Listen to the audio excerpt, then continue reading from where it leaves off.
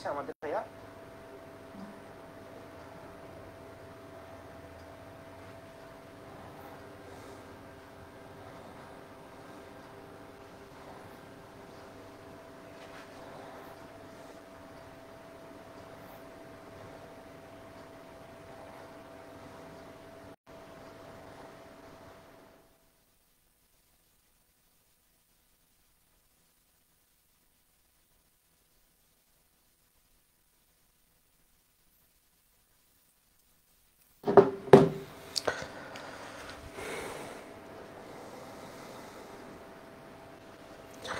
আচ্ছা। তাহলে আমাকে একটু বলো যে এখন সব ঠিকঠাক, তাই তো? এখন শোনা যাচ্ছে। একটু জানান যে এখন সব ঠিকঠাক আছে কিনা, এখন শোনা যাচ্ছে কিনা আমার কথা।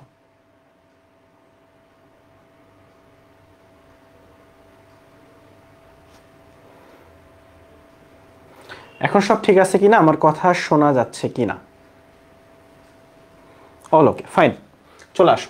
আমাদের পর্যায় একশো আঠারোটা মৌল আছে, তার ভিতরে ধাতু কয়টা, অধাতু কয়টা, অর্ধধাতু কয়টা, এটা জানতে হবে। তো খুব সহজ, ধাতু চুরানব্বইটা অর্ধ অধাতু হচ্ছে অর্ধধাতু, অপধাতু, মেটালয়েড, সব একই জিনিস।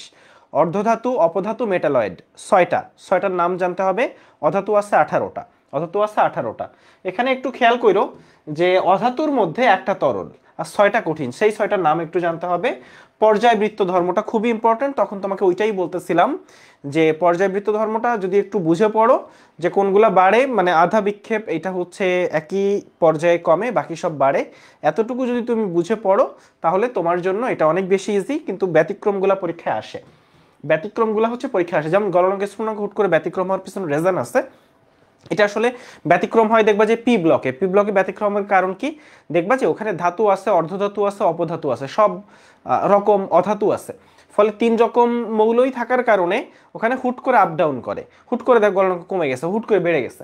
তাহলে এই জায়গাগুলো একটু খেয়াল করো যে গলনাঙ্ক, আমরা দেখতেছি সোডিয়াম ম্যাগনেশিয়াম অ্যালুমিনিয়াম অ্যালুমিনিয়াম মানে সিলিকন সিলিকা হচ্ছে দৈত্যাকার অণু জায়ান্ট মলিকুল সিলিকা ফলে এখানে দেখ হুট করে বেড়ে গেছে, আবার ফসফরাস হুট করে কমে গেছে।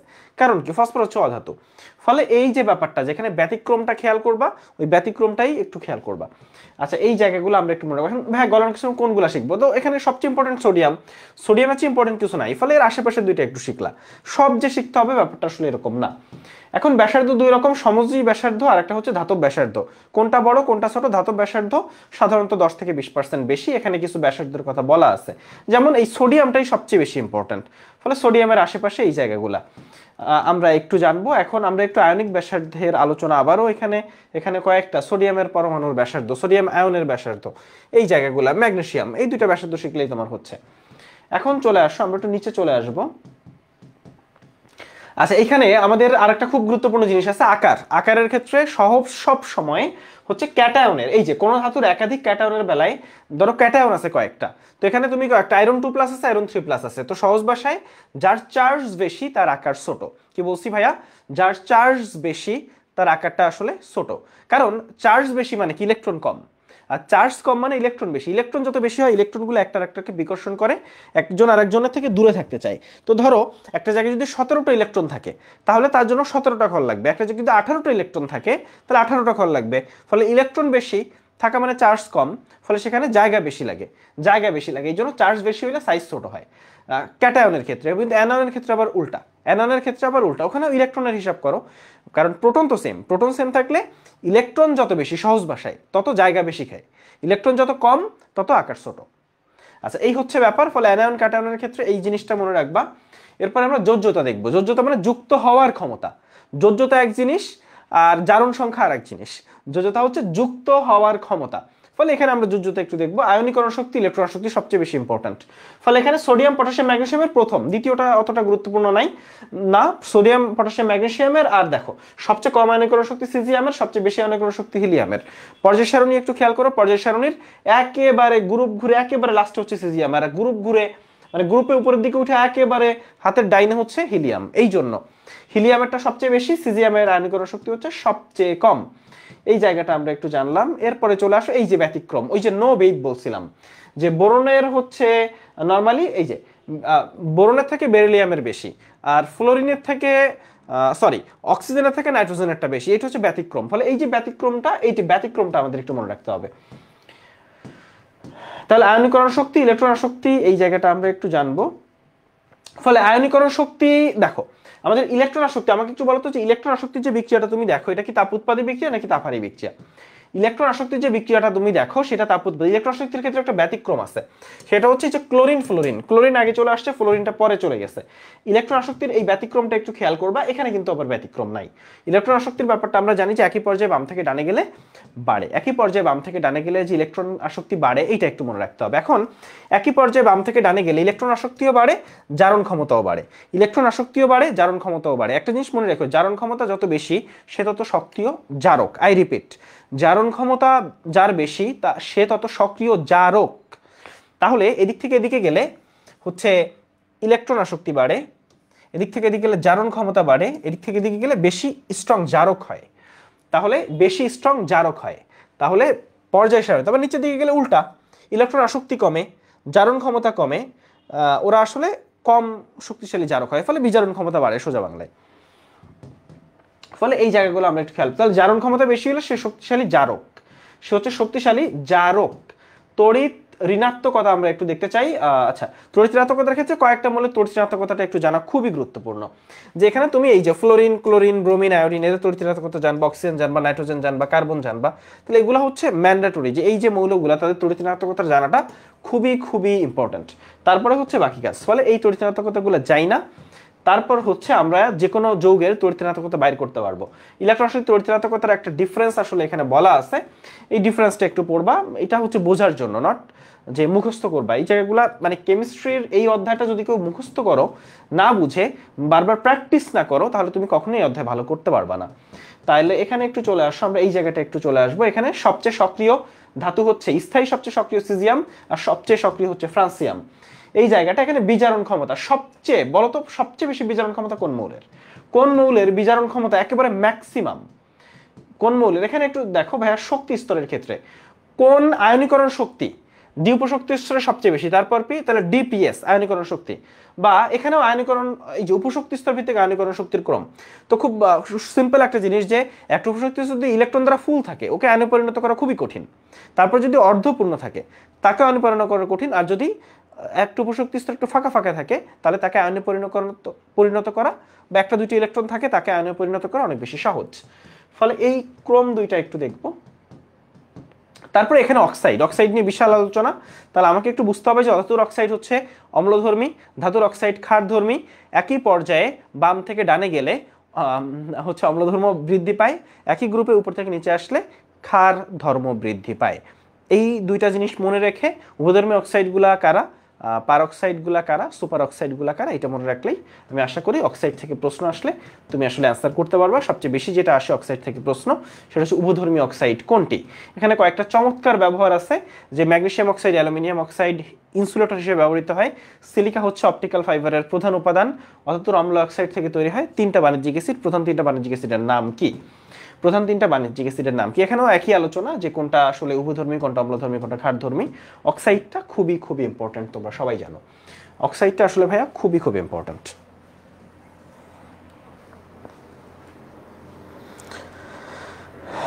আচ্ছা ঠিক আছে।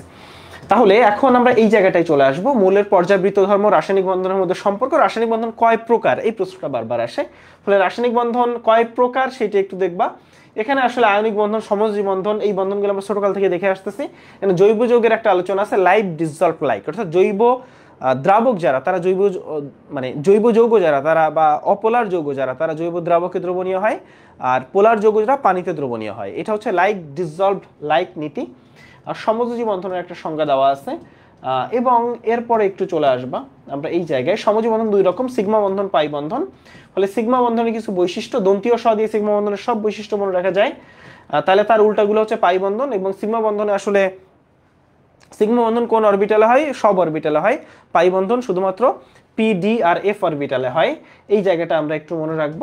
তাহলে পাই বন্ধন হচ্ছে পি ডি আর এফ অরবিটালে।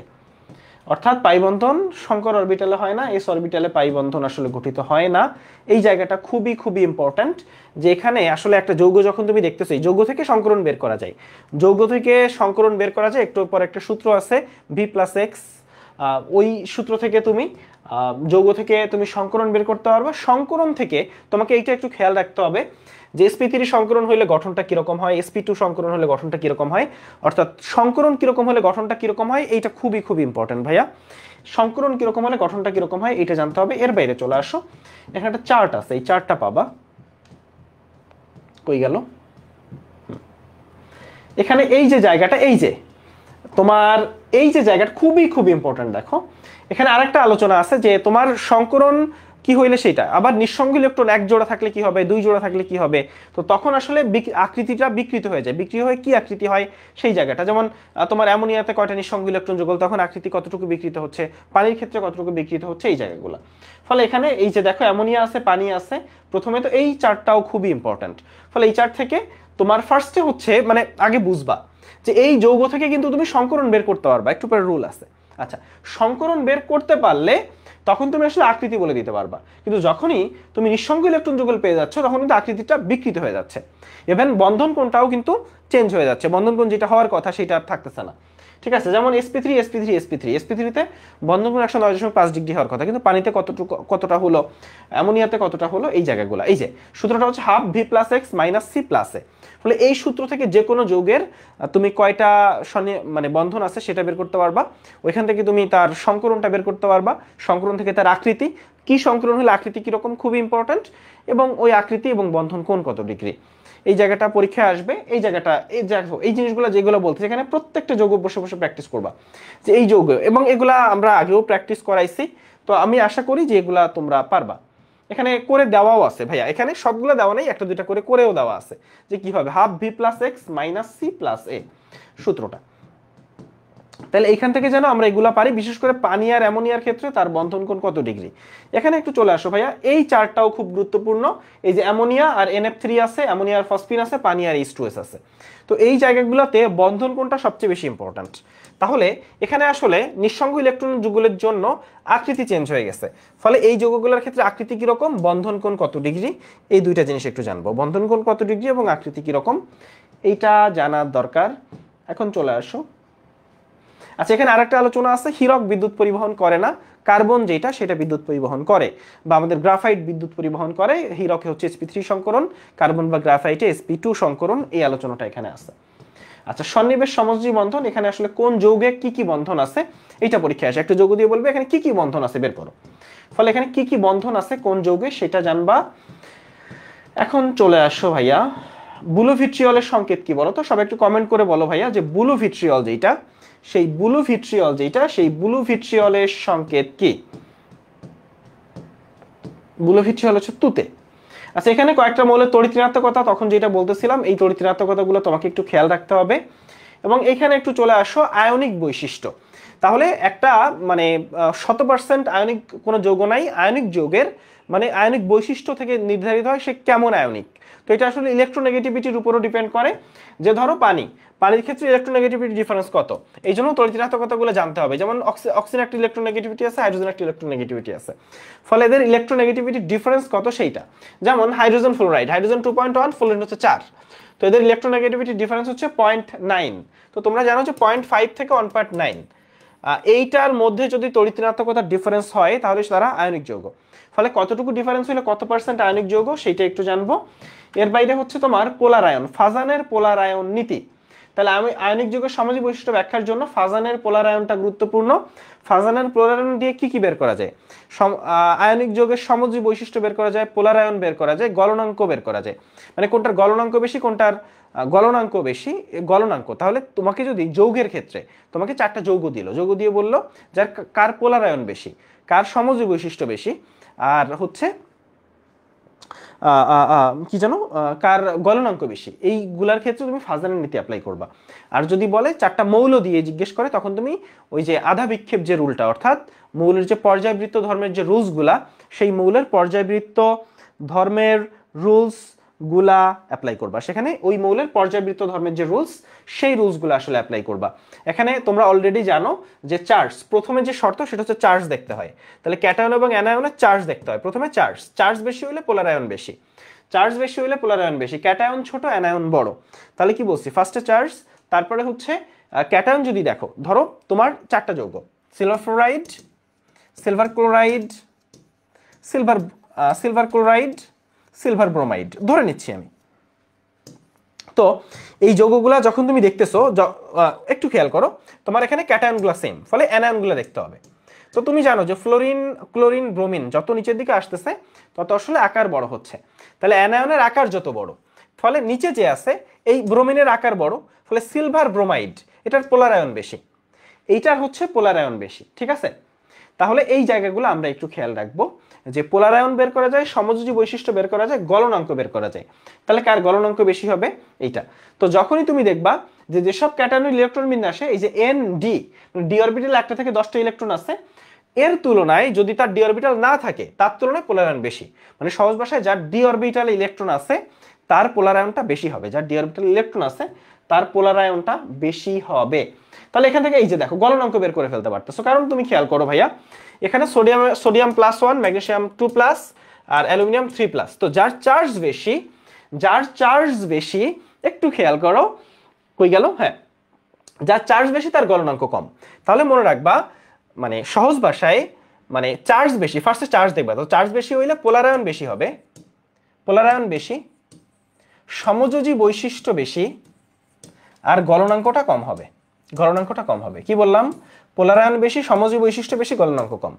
পোলারায়ন বেশি, সমযোজী বৈশিষ্ট্য বেশি, আর একটা হচ্ছে গলনাঙ্ক কম।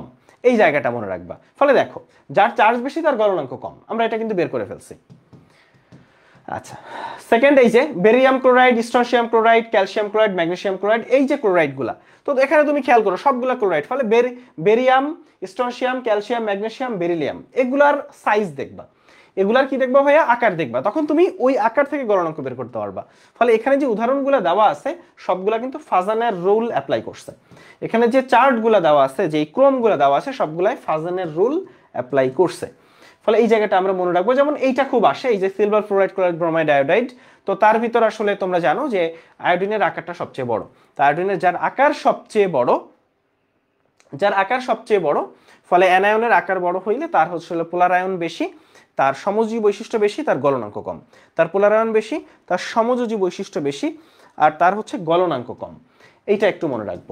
এখন একটু চলে আসো ভাইয়া। কর্ণ সম্পর্ক যেটা অতটা গুরুত্বপূর্ণ না যে দ্বিতীয় এবং তৃতীয় পর্যায়ের কোনাকুনি যে মৌলগুলো আছে মানে ঠিক এরকম এরকম মৌলগুলা এদের ভিতর অনেক ভৌত ধর্মে মিল পাওয়া যায়। সেই মিলগুলা কি কি একটু দেখবা? যে অনেক কাছাকাছি এই ভৌত ধর্মগুলা।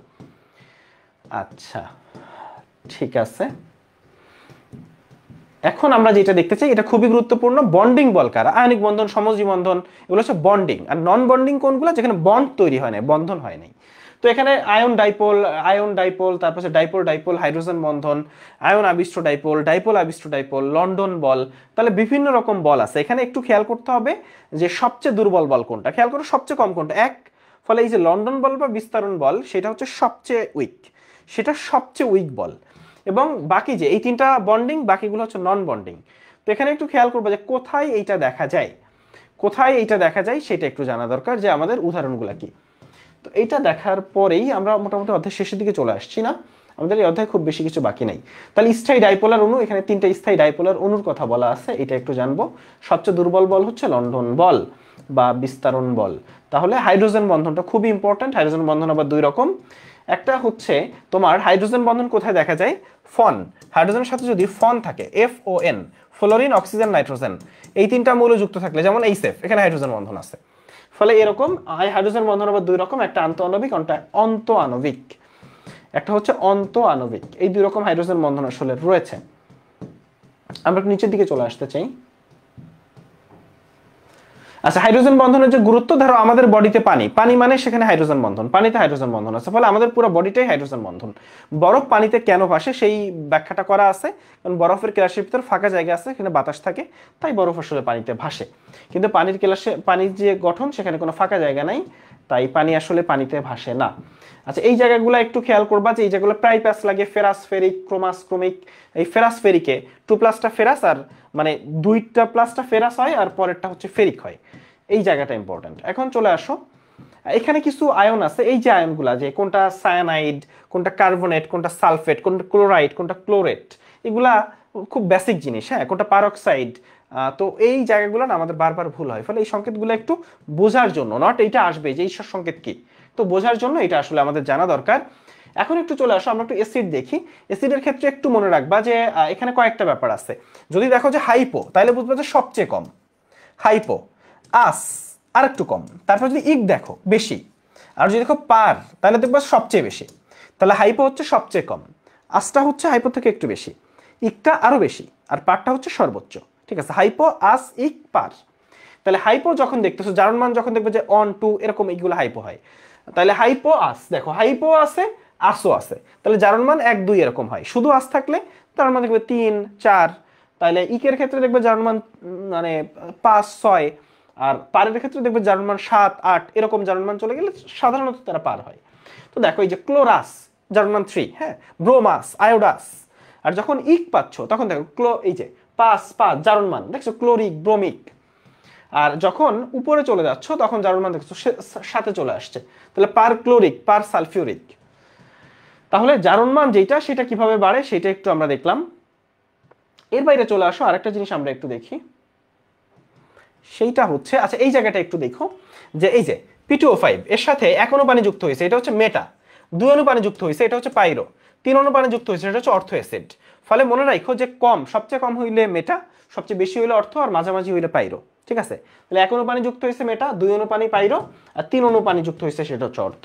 তিন অনুপানি যুক্ত হয়েছে সেটাকে আমরা বলতেছি ভাইয়া অর্থ অ্যাসিড ওকে? ঠিক আছে। এখানে লিগ্যান্ড আমরা আগের বারও দেখতেছিলাম যে এগুলো হচ্ছে নিরপেক্ষ লিগ্যান্ড ফলে আমরা এর আগে স্ট্রং লিগ্যান্ড দেখছি উইক লিগ্যান্ড দেখছি, এখানে নিউট্রাল লিগ্যান্ড এই জিনিসগুলো আমরা দেখতেছি। তাহলে এই প্রত্যেকটা জিনিস আসলে আমাদের জন্য ইম্পর্ট্যান্ট যে কীরকম লিগ্যান্ড আসলে কোনটা। ঠিক আছে? এখন আমাদের হচ্ছে, আমাদের এই অধ্যায়টা শেষ। আমরা এখন পরিবেশ শোষণ শুরু করতে পারি। আচ্ছা পনেরো দিন, যে পনেরো দিন আছে, তো এটা নিয়ে আমার ইচ্ছা যে একটা লাইভে আসব, যে শেষ পনেরো দিন আসলে কি পড়বা? তারপর একটু বলি, পনেরো দিন আসলে কি পড়বা, কীভাবে পড়বা সেটা নিয়ে। শেষ পনেরো দিনে মানে তোমাকে আসলে মডেল টেস্ট মনে হয় ম্যাক্সিমাম জায়গায় চলতেছে। ফলে মডেল টেস্ট তোমার পক্ষে তো আর প্রতিদিন, ধরো প্রতিদিন একটা করে মডেল টেস্ট তোমরা কি সব পড়ে যাওয়া সম্ভব? সম্ভব না। ফলে এই পনেরো দিনে তুমি একটা প্ল্যান করবা মানে একটা ক্লিয়ার কাট প্ল্যান থাকবে, যে আমি কি কি পড়তে চাই। তো এখানে প্রায়োরিটি লিস্টে কি কি? মানে আমি তোমার রুটিন সাজাই দিচ্ছি না, তো কেমনে রুটিন সাজাবা সেটা বলে দিচ্ছি। প্রথমে তুমি চেষ্টা করবা, এখন কয়বার রিভিশন দিবে এটা আমি কেন বলতে চাই না? কারণ রিভিশন এক একজনের ব্যাপারটা এক এক রকম। অনেকের হইতে পারে যে এই পনেরো দিনে দুইবার ভালোভাবে রিভিশন দিয়ে পেরে যাচ্ছে। মানে দেখা যাচ্ছে যে তার সব মনে আছে। আবার অনেকে আছে যে একটু বেশি রিভিশন দিতে হয়। ফলে এক একজনের রিভিশন স্টাইল এক এক রকম। হ্যাঁ ফলে তবে সর্বোচ্চ বেশি বেশি রিভিশন দিতে পারলে সেটা সবসময় হেল্পফুল বেশি। ফলে এখন হচ্ছে তুমি মূল বই আর অনুশীলনের প্রশ্ন আমি কতটুকু দেখছ আমি জানি না। অনুশীলনের প্রশ্ন বুঝে সলভ করতে হয়। তো আশা করি এতদিনে তোমার অনুশীলন প্রশ্ন বুঝে মোটামুটি সলভ করা আসলে শেষ, ঠিক আছে? তো অনুশীলনের প্রশ্ন যেহেতু তোমার বুঝে, আমার ধারণা যে মোটামুটি একবার দেখছ, ফলে আর একবার দেখে গেলে হবে। মানে আমি শেষ দিকে এসে বলব না যে বসে বসে প্রশ্ন সলভ করো। এটা আসলে এতদিনে মোটামুটি আমার ধারণা যে যারা একটু ইয়া করছ, তারা প্রশ্ন সলভ করছ। তো যারা মোটামুটি প্রশ্ন সলভ করে ফেলছো মোটামুটি, এবং এখন বসে বসে মানে বিভিন্ন কোচিং এর প্রশ্ন মুখস্থ করার এটা কইরো না, এটা করবা না। এখন এসে অনুশীলনের প্রশ্ন, তুমি যদি প্রশ্ন দেখো, তাহলে অনুশীলনের প্রশ্ন। এর বাইরে শুধু মূল বই, শুধু মূল বই বারবার দেখবা, যতবার পারা যায় ততবার দেখবা। কারণ দিন শেষে তোমরা জানো যে আমরা বারবার বলি যে মূল বইটা বারবার পড়বা, মূল বই থেকেই প্রশ্ন আসবে। মূল বইয়ের উপর যার ভালো দখল আছে, তার চান্স কখনো মিট যাবে না। ফলে এর বাইরে অনুশীলনের প্রশ্ন আগে আগেও দেখে ফেলো। মানে সবই একটু দরকার লাস্টের দিকে এক দুই দিনে অনুশীলনের প্রশ্ন আরেকবার একটু চোখ বুলাই গেল। এইটা। তো অনুশীলনের প্রশ্ন, যত সলভ করা আশা করি হয়েছে এখন যদি সলভ যা হয়েছে হয়েছে এখন বসে বসে অনুশীলনের প্রশ্ন নিয়ে গবেষণা করার আমার সময়ও নাই, ঠিক আছে? ফলে এখন আমার জাস্ট একটা কাজ, শুধু মূল বই। শেষ পনেরো দিন আমার কাছে মনে হয় যে তুমি যতবার মূল বইটা পড়ে পারো। হ্যাঁ এক্সট্রা ইনফো তো একবার দুইবার দেখবা। কিন্তু এক্সট্রা ইনফো তো আমার মনে হয় না যে তুমি আমার মধ্যে ধারণা যে তুমি যদি একটু সিক্রেট সাজেশনটা দেখো সেটাও আসলে ভালোই হবে। হ্যাঁ? ফলে সিক্রেট সাজেশনটা আসলে দেখলা। আর হচ্ছে মূল বইটা বারবার পড়ব। নিশাতপুর ক্লাসগুলো আগামীকাল থেকে শুরু হবে। আগামীকাল রাত আটটায় নিশাতপুর ক্লাস আছে। আগামীকাল রাত আটটা থেকে হচ্ছে নিশাতপুর ক্লাসটা শুরু হবে। এইটা ব্যাপার।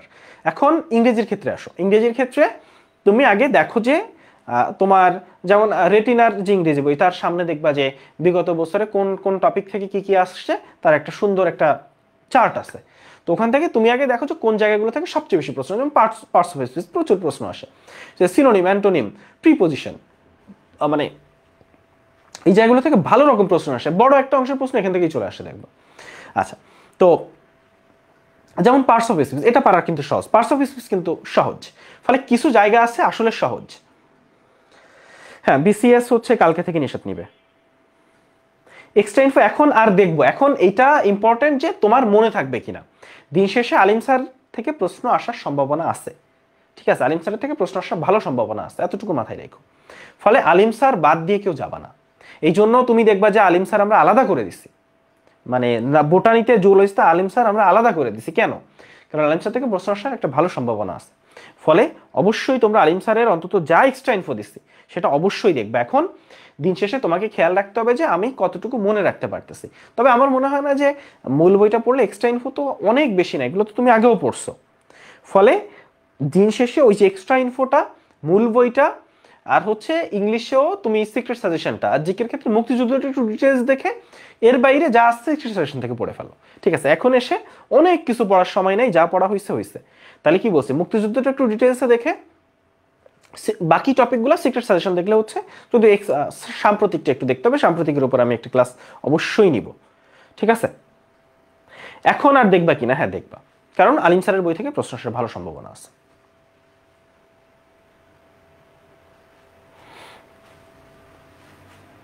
ঠিক আছে, আমার কথা কি বোঝা গেছে? আর কারও কোনো কোশ্চেন আছে বলো?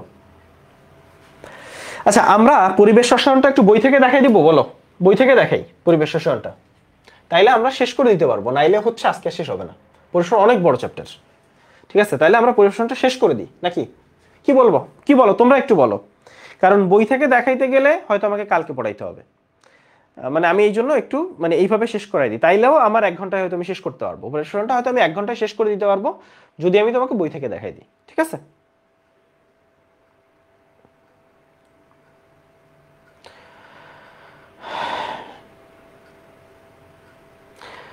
ইংলিশের সিক্রেট সেশনের পিডিএফ দিবেন না।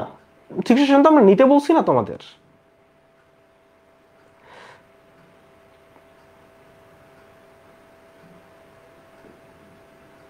আচ্ছা আসো। ভাই, আমি এই দুইটা, তিনটা ক্লাস নিয়ে তারপর হচ্ছে আমি ইয়াটা দেখাই দেবেন আসো। আসো। এখানে একটু চলে আসবা যে বায়ুমণ্ডলে কি কি গ্যাস আছে, কোন গ্যাসের পার্সেন্টেজ কত? বায়ুমণ্ডল মোট পাঁচশো কিলোমিটার।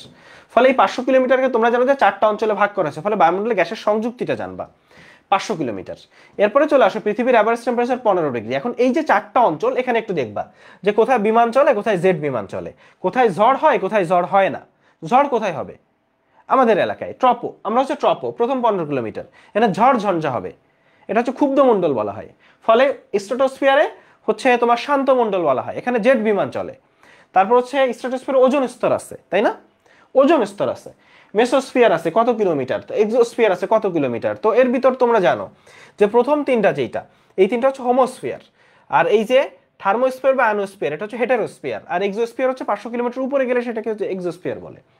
ফলে কত কিলোমিটার, কোনটা ক্ষুব্ধ, কোনটা শান্তমণ্ডল, কোথায় বিমান চলে, কোথায় জেড বিমান চলে, তারপর হচ্ছে কোথায়, যেমন চাপের ক্ষেত্রে, যত উপরে যাবে তত চাপ কমতে থাকে। তো তাপমাত্রার ক্ষেত্রে বাড়ে কমে বাড়ে কমে। তাই না? এই জায়গাগুলো আমরা দেখাচ্ছি আসো। ফলে এই যে স্ট্যাটোস্ফিয়ার হচ্ছে ওজন স্তর আছে। ওজন স্তর কি করে? ইউভি রশ্মি শোষণ করে। যদি ওজন স্তর ভেদ করে ইউভি রশ্মি চলে আসে, তাহলে তোমাদের ক্যান্সার হতে পারে, চর্মরোগ হতে পারে জেনোডেসমা পিগমেন্টাজম হতে পারে। এখন আমরা এই চার্ট দেখব। চার্টের ক্ষেত্রে দেখো, যত উপরে যাচ্ছে তত চাপ কমতেছে। তো টেম্পারেচারের ক্ষেত্রে খেয়াল করো, প্রথমে কমে বাড়ে কমে বাড়ে। টেম্পারেচারের ক্ষেত্রে কমতে কমতে লোয়েস্ট টেম্পারেচার কত ডিগ্রি মাইনাস বায়ুমণ্ডলের লোয়েস্ট টেম্পারেচার মাইনাস তিরানব্বই ডিগ্রি এখানে আমরা হোমোস্ফিয়ারের উপাদান কি কি? এটা হচ্ছে বায়ুমণ্ডলের সংযুক্তি, গ্যাসের সংযুক্তি। এটাই নাইট্রোজেন আটাত্তর পার্সেন্ট অক্সিজেন একুশ পার্সেন্ট মানে বিশ দশমিক নয় চার পার্সেন্ট এই জিনিসগুলো কার্বন ডাইঅক্সাইড হচ্ছে point zero three three percent point zero three three four percent এরকম বলা হয়। আচ্ছা হেটারোস্ফিয়ারের যে সংযুক্তি সেটা জানতে হবে। হেটারোস্ফিয়ারের সংযুক্তিটা জানব। এখন চলে আসো, এটা আমরা দেখার পরে চলে আসব এই জায়গাটায়।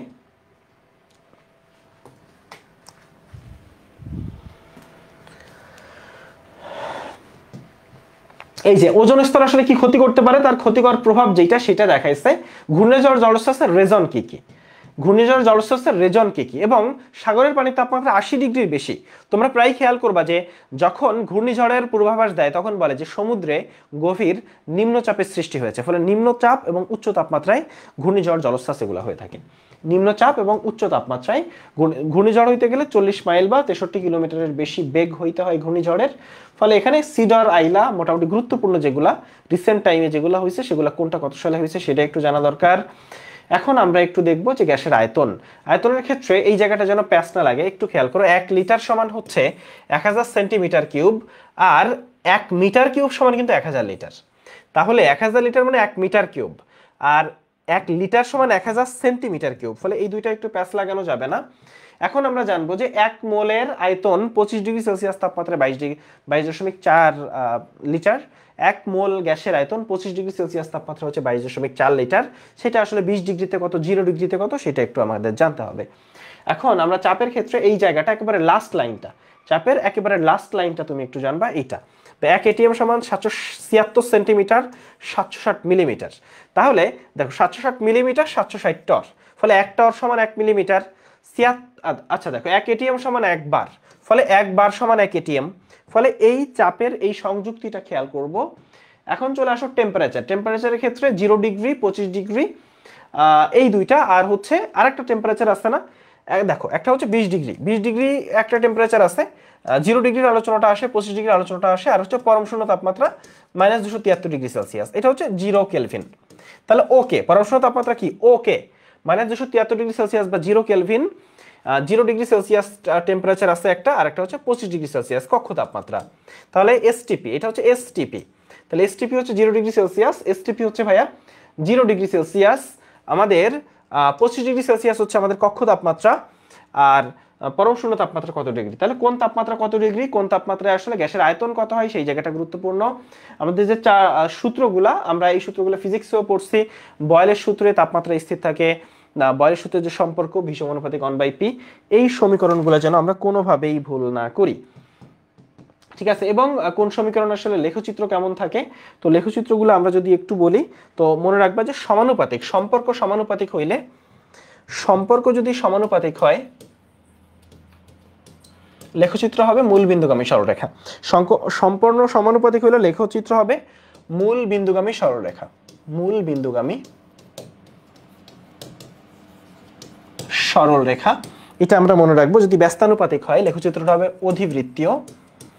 ব্যস্তানুপাতিক হলে লেখচিত্রটা হবে অধিবৃত্তীয়। ব্যস্তানুপাতিক হলে, তাহলে সমানুপাতিক হলে মূল বিন্দুগামী সরল রেখা। ব্যস্তানুপাতিক হলে লেখচিত্রটা হবে অধিবৃত্তীয়। যোগ চিহ্ন থাকলে, সেখানে যদি যোগ চিহ্ন থাকে, তাহলে লেখচিত্র হবে খণ্ডিতাংশ।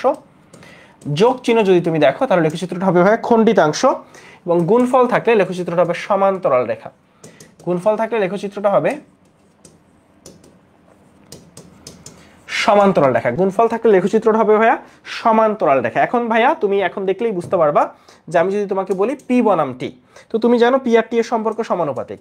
ফলে এই রেখাটা হবে মূল বিন্দুগামী সরলরেখা আমি তোমাকে বললাম ভি বনাম টি, তাহলে ভি আর টি এর সম্পর্ক তুমি জানো সমানুপাতিক। এই লেখচিত্র হবে মূল বিন্দুগামী সরলরেখা আমি বললাম যে পি বনাম ভি, তাহলে পি আর ভি আসলে ব্যস্তানুপাতিক। তখন লেখচিত্রটা হবে কি রকম অধিবৃত্তীয়। অধিবৃত্তীয়। যদি আমি বলি পি বনাম অন বাই ভি, পি বনাম অন বাই ভি, তাহলে তুমি দেখো পি আর অন বাই ভি সমানুপাতিক। কারণ আমি অন বাই ভি আর পি দেখতেছি নট ভি। পি আর ভি ব্যস্তানুপাতিক, কিন্তু পি আর অন বাই ভি কিন্তু সমানুপাতিক। ফলে এটাও মূল বিন্দুগমী সরলরেখা হবে। এইটাও মূল বিন্দুগমী সরলরেখা হবে। ধরো আমি বললাম যে ভি সমানুপাতিক টি প্লাস দুইশো তিয়াত্তর। এই যে সমীকরণ, এখানে যোগ আছে। ফলে লেখচিত্রটা হবে খণ্ডিতাংশ। খণ্ডিতাংশ, বা আমি বললাম যে পিভি বনাম টি। পিভি বনাম টি তো এখানে দেখো ভাইয়া, গুণফল আছে। পিভি বনাম টি পিআরভি গুণফল। ফলে গুণফল থাকলে এটা হবে সমান্তরাল লেখো পিভি বনাম টি যে লেখোটা, এই লেখোটা হবে ভাইয়া সমান্তরাল রেখো। এই লেখোটা হবে সমান্তরাল রেখো। ফলে এই জায়গাটা আশা করি বুঝতে পারছি, একটু সবাই বলো যে হয়েছে কিনা এটা। তাহলে কি রকম সমীকরণ হইলে লেখোটা আসলে কি রকম হবে? যোগ চিহ্ন মানে এই যে, এই রকম সমীকরণ থাকতে পারে। টি প্লাস দুশো তিয়াত্তর। ঠিক আছে? ফলে এই জায়গাটা আমরা একটু খেয়াল রাখব।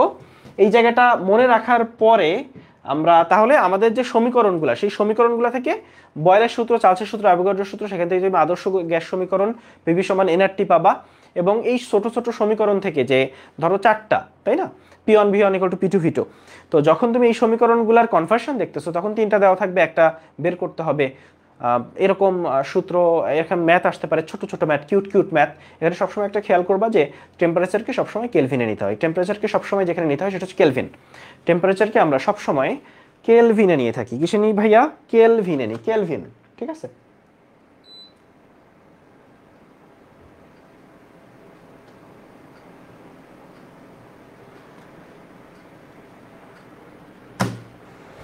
একটা মিনিট টেম্পারেচারকে আমরা সবসময় কেলভিনে নিই।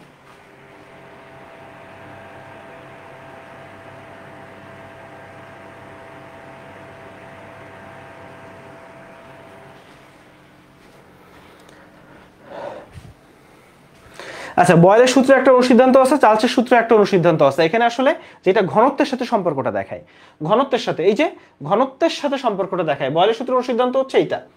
কই গেল? বয়েলের সূত্রের অনুসিদ্ধান্ত হচ্ছে ওই যে ঘনত্ব আর চাপ ডিআরপি সমানুপাতিক। ডিআরপি সমানুপাতিক এইটাই, যে পিআরডি সমানুপাতিক, এটা হচ্ছে বয়েলের সূত্রের অনুসিদ্ধান্ত ঠিক একইভাবে ঠিক একইভাবে চার্লসের সূত্রে একটা অনুসিদ্ধান্ত আছে। চার্লসের সূত্রের একটা অনুসিদ্ধান্ত আছে। এই অনুসিদ্ধান্তটাও খেয়াল করবা, আমরা এখন একটু পরম শূন্য তাপমাত্রা, আমরা জানি অলরেডি টেম্পারেচারে কত কেলভিনে কত আর ডিগ্রি সেলসিয়াসে কত, সেইটা একটু জানব। এরপরে ওই যে ম্যাথগুলা বললাম যে ছোট্ট ছোট্ট ম্যাথ বয়েলের সূত্রের ম্যাথ চার্লসের সূত্রের ম্যাথ আমি আশা করি তুমি পারবা। এটা হচ্ছে চার্লসের সূত্রের একটা অনুসিদ্ধান্ত এটা হচ্ছে ডি সমানুপাতিক ওয়ান বাই টি অর্থাৎ তাপমাত্রার ঘনত্ব ব্যস্তানুপাতিক, এটা হচ্ছে চার্লসের সূত্রের অনুসিদ্ধান্ত গেলুসাকের একটা চাপের সূত্র আছে, তো গেলুসাকের চাপের সূত্র আসলে আমরা কোথায় ইউজ করতে পারি সেটা একটু জানতে হয় যে গেলুসাকের যে চাপের সূত্র, ঠিক আছে? তাহলে গেলোসাকের চাপের সূত্রের সমীকরণটা কি সেটা একটু জানব। এবং এই সমীকরণগুলো মিলাই আমরা যেটা আনি সেটা হচ্ছে আমাদের আদর্শ গ্যাস সমীকরণ। তার আগে একটু দেখো এসটিপি বিশ ডিগ্রি আর পঁচিশ ডিগ্রিতে গ্যাসের আয়তন কত? বাইশ দশমিক চার লিটার, চব্বিশ দশমিক শূন্য চার, চব্বিশ দশমিক সাত আট নয় লিটার। এই যে ম্যাথগুলো, এগুলো আসলে পরিমাণগত রসায়নেও আসলে তোমাকে আমি করাইছি। এছাড়া তোমরা জানো যে পরিমাণগত রসায়নের একটা ম্যাথের ক্লাস, ডেডিকেটেড ম্যাথের ক্লাস। এই ক্লাসটা কি তোমাদের দেওয়া হয়েছে এই ক্লাসটা আসলে এইটা হচ্ছে এইরকম কোনো ব্যাপার নাই। তোমরা মনে রাখবা অমিয় যে শর্ট ফুল বলে কিছু নাই, ঠিক আছে? আপাতত মেডিওলজি প্র্যাকটিস বুক বা কোনো বই নেওয়ার সুযোগ নাই। মানে বই নেওয়ার সুযোগ শেষ, বই নেওয়ার সুযোগটা আসলে আমরা শেষ করে দিছি হ্যাঁ? আচ্ছা তাহলে এটা একটু মনে রাখবা যে কোথায় আসলে কয়টা অণু থাকে সেটা একটু জানতে চাইব। এরপরে হচ্ছে বয়েল এবং চার্চের সমন্বয় সূত্র। বয়েল এবং চার্চের সূত্র সমন্বয় সূত্র, ওই যে P one V one T one equal to P two V two by T আদর্শ গ্যাস সমীকরণ পিভি ইকাল টু এনআরটি এখানে আর সম্পর্কে একটু জানতে হবে আর হচ্ছে সার্বজনীন গ্যাস ধ্রুবক। আর এর যে একক, সেটা হচ্ছে কই গেল? হ্যাঁ আর এর ক্ষেত্রে, আর এর একক কি কি সেটা একটু জানতে হবে। একটা চার্ট আছে দেখবে, এই যে চার্ট এখানে বিশেষ করে এই এককটা, যে আমাদের একটা জিনিস খেয়াল করো এটা হচ্ছে মোল পার কেলভিন এটা ফিক্সড মানে প্রতি মোলে কত পার কেলভিন তো এখানে কত মানটা আসতেছে সেইটা এবং সবচেয়ে SI এককটা eight point three one four joule per mole per Kelvin ফলে এই এককগুলো একটু জানবা। এইটা। এছাড়া একটু চলে আসো, আরেকটা জিনিস আছে, আরেকটা হচ্ছে তোমার বোর্সম্যান ধ্রুবক। বোর্সম্যান ধ্রুবকটার মান কত? এসআই এককে বিশেষ করে বোর্সম্যান ধ্রুবকটার মান কত? সেইটা। এটা joule per Kelvin per molecule. মলিকুলের ক্ষেত্রে হচ্ছে বোর্সম্যান, আর মোলের ক্ষেত্রে হচ্ছে আমাদের সার্বজনীন গ্যাস ধ্রুবক। আদর্শ গ্যাস সমীকরণের দুইটা ব্যবহার আছে গ্যাসের আণবিক ভর নির্ণয় আর গ্যাসের ঘনত্ব নির্ণয়। আণবিক ভর নির্ণয়ের সমীকরণ কোন সমীকরণ দিয়ে আণবিক ভর নির্ণয় করা যায়? কোন সমীকরণ থেকে ঘনত্ব নির্ণয় করা যায়? এই দুটো সমীকরণ জানবে, এখান থেকে ছোট ছোট ম্যাথ আসতে পারে। আচ্ছা। আবারও বলি, তোমরা ম্যাথ নিয়ে যতটা টেনশন করো, এতটা টেনশন করার কিছু নাই। যে ম্যাথগুলো আসবে, সেগুলো আমি আবারও বলতে চাই সমীকরণ জানলে তুমি ম্যাথ করতে পারবা। ঠিক আছে? সমীকরণ জানলে ইনশাল্লাহ ম্যাথ করতে পারবা। আচ্ছা ঠিক আছে। এখানে চলে আসো ভাইয়া।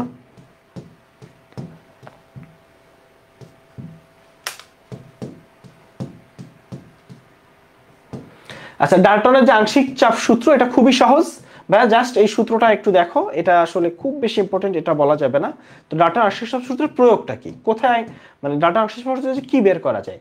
তাহলে এই যে গ্যাসের মিশ্রিত অবস্থায় চাপ নির্ণয় করা যায়, আর্দ্র গ্যাসের চাপ নির্ণয় করা যায়। আর্দ্র গ্যাসের চাপ নির্ণয় একটা সমীকরণ আছে, ছোট সমীকরণটা জানবা। তাহলে মিশ্রিত অবস্থায় চাপ আর আর্দ্র গ্যাসের চাপ নির্ণয় করা যায় হচ্ছে আংশিক চাপ সূত্রর সাহায্যে। আংশিক চাপ সূত্র দিচ্ছে হচ্ছে ডাল্টন। আংশিক চাপ সূত্র কে দিছে ভাইয়া? ডাল্টন দিছে হচ্ছে আংশিক চাপ সূত্র। এখন এইখানে চলে আসো ভাইয়া। একটা জিনিস খেয়াল করছ যে বড় একটা জায়গা জুড়ে তুমি দেখবে যে খুব বেশি আসলে পড়া নাই। যেমন এখানে ব্যাপন আর অনুব্যাপনের একটা পার্থক্য দেওয়া আছে, ফলে বোঝাই যাচ্ছে এটাও এক ধরনের ব্যাপন। ফলে ব্যাপনটা আসলে একটা স্বতঃস্ফূর্ত প্রক্রিয়া, একটা ফুলের গন্ধ ছড়ায় যাচ্ছে, একটা দুর্গন্ধ ছড়ায় যাচ্ছে, এটা ব্যাপন প্রক্রিয়ায়। তো নিঃসরণের ক্ষেত্রে একটা টায়ারের একটা ছোট্ট ফুট ছিদ্র হয়ে গেছে, ফলে ভিতরে প্রচণ্ড চাপে মানে যে জিনিসটা বের হচ্ছে সেটা হচ্ছে নিঃসরণ। ফলে একটা হচ্ছে এই যে টিউব ফুটা হয়ে গেছে। তাহলে প্রচণ্ড বি- বিশাল একটা প্রেশারের কারণে যেটা সেটা হচ্ছে নিঃসরণ, ফলে এটা দ্রুত আসে, খুবই দ্রুত চলন প্রক্রিয়া। আর যেটা স্বতঃস্ফূর্ত হয়, ফলে আস্তে আস্তে আস্তে আস্তে হয়। ফলে এই দুইটা হচ্ছে বেসিক ডিফারেন্স ব্যাপন আর অনুব্যাপনের। ব্যাপন হারটা খুবই গুরুত্বপূর্ণ আণবিক ভরের সাথে প্রায় পরীক্ষায় আসে। যে ধরো চারটা গ্যাস দিয়ে দিছে, গ্যাস দিয়ে তাদের মানে চারটা গ্যাস দিয়ে বলল যে কার ব্যাপন হার বেশি? ফলে মনে রাখবা, এই ক্ষেত্রে গ্যাসের আণবিক ভর জানতে হবে। যার আণবিক ভর কম, তার ব্যাপন হার বেশি। যার আণবিক ভর কম, যেমন হাইড্রোজেন দিল, তাহলে হাইড্রোজেনের ব্যাপন হার বেশি হবে, কারণ হাইড্রোজেন আণবিক ভর খুবই কম। ফলে এক্ষেত্রে গ্যাসের আণবিক ভরটা তোমাকে জানতে হবে। আণবিক ভর জানলে বা এই যে, শুধুমাত্র ব্যাপন না, এই সমীকরণটা একটু খেয়াল করো। এই সমীকরণ থেকেই তুমি দেখে দিতে পারতেছো যে ব্যাপনের সাথে ঘনত্বের সম্পর্ক কীরকম? ব্যাপনের সাথে আণবিক ভরের সম্পর্কটাও ব্যস্তানুপাতিক, ঘনত্বের সম্পর্কটাও আসলে ব্যস্তানুপাতিক। ফলে ব্যাপনের সাথে ঘনত্ব যেটা ঘনত্ব যদি বলে দেয় তাহলে তুমি বের করে দিতে পারবা। ধরো চারটা গ্যাসে ঘনত্ব দিয়ে দিছে, তাহলে তোমাকে বলল যে কার ব্যাপন হার বেশি? যে তুমি জানো ঘনত্ব আর ব্যাপন হার ব্যস্তানুপাতিক। ব্যাপন হার নির্ধারণকারী ফ্যাক্টর এই ফ্যাক্টরগুলা পড়বা যে নির্ধারণকারী ফ্যাক্টর কোনটি ফ্যাক্টর নয় কোনটি, ব্যাপন সূত্রের প্রয়োগ। তো প্রয়োগের ক্ষেত্রে বেশ কিছু প্রয়োগই দেখো, যে আণবিক ভর নির্ণয় করা যায়, তারপর হচ্ছে উপাদানগুলো পৃথক করা যায়। কয়লা খনিতে মিথেন গ্যাস। কোন গ্যাস ভাইয়া? Methane methane. মিথেন গ্যাসের উপস্থিতি নির্ণয়। আর সবচেয়ে আধুনিক প্রয়োগ যেটা, এটা পরীক্ষায় আসার সম্ভাবনা সবচেয়ে বেশি, একই মৌলের আইসোটোপ পৃথক করা। ইউরেনিয়াম দুশো থেকে দুশো পঁয়ত্রিশ পৃথক করা হয় এবং আমাদের যে পারমাণবিক চুল্লি, পারমাণবিক চুল্লিতে কিন্তু দুশো পঁয়ত্রিশটা ইউজ করা হয়। পারমাণবিক যে চুল্লি, সেই পারমাণবিক চুল্লিতে কিন্তু ইউরেনিয়াম দুশো পঁয়ত্রিশ যেটা, এই মৌলটাই আসলে ইউজ করা হয়। কোনটা ইউজ করা হয়? ইউরেনিয়াম দুশো পঁয়ত্রিশ।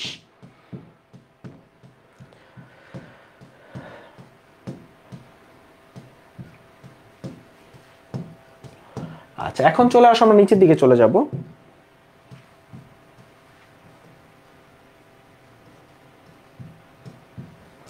আচ্ছা এই জায়গায় গ্যাসের আণবিক গতিতত্ত্ব, তো এই গণিত স্বীকার্যগুলা, এই হেডলাইনগুলো একটু দেখো। যে অনুগুলার আয়তন গ্যাস পাত্রের আয়তনের তুলনায় অত্যন্ত নগণ্য, অনুগুলার মধ্যে কোনো আকর্ষণ বিকর্ষণ আছে? না। কিন্তু এরা সবসময় দৌড়াদৌড়ি করতেছে, তাই ধাক্কা খায়। গ্যাস পাত্রের দেওয়ালের গায়ে ধাক্কা খায়। এবং তখন তুমি ওই যে গতিবেগটা দেখো একটা গতিবেগ আছে, কিন্তু আকর্ষণ বিকর্ষণ কিন্তু নাই। তাহলে সংঘর্ষ হচ্ছে। গ্যাসের চাপ আছে গ্যাসের যে গতিশক্তি, এই যে আদর্শ গ্যাসের সমীকরণ পিভি ইকল টু এনআরটি কিন্তু PV equal to one by three M N C square এটা হচ্ছে আদর্শ গ্যাসের গতীয় সমীকরণ। এখানে আসলে এই যে এম দিয়ে কি বোঝাচ্ছে এম দিয়ে কি বোঝাচ্ছে সি দিয়ে কি বোঝাচ্ছে এই জায়গাগুলো আমরা একটু দেখব। আদর্শ গ্যাসের গতীয় সমীকরণটা আমরা বুঝলাম। এখন একটু দেখো। ভাইয়া, এখানে আণবিক সংঘর্ষ। আণবিক সংঘর্ষের একটা ব্যাপার আছে। এই যে আণবিক ব্যাসের মাত্রা কত? এটা হচ্ছে সংঘর্ষ ব্যাসের মাত্রা কত? এই দুটা মাত্রা। তাহলে কোন ব্যাসটা আসলে বড়? গ্যাসের গতিবেগ তিন রকম। একটা হচ্ছে আরএমএস ভ্যালু আর একটা হচ্ছে অ্যাভারেজ ভ্যালু আর একটা হচ্ছে সম্ভাব্যতম বেগ। ফলে এই যে তিনটা গতিবেগ তিনটা গতিবেগ নির্ণয়ের সূত্র কি কি? সি দিয়ে আরএমএস ভ্যালুটা বোঝায় রুট থ্রি আর টি ভাগ M root three R T ভাগ এম চলে আসো।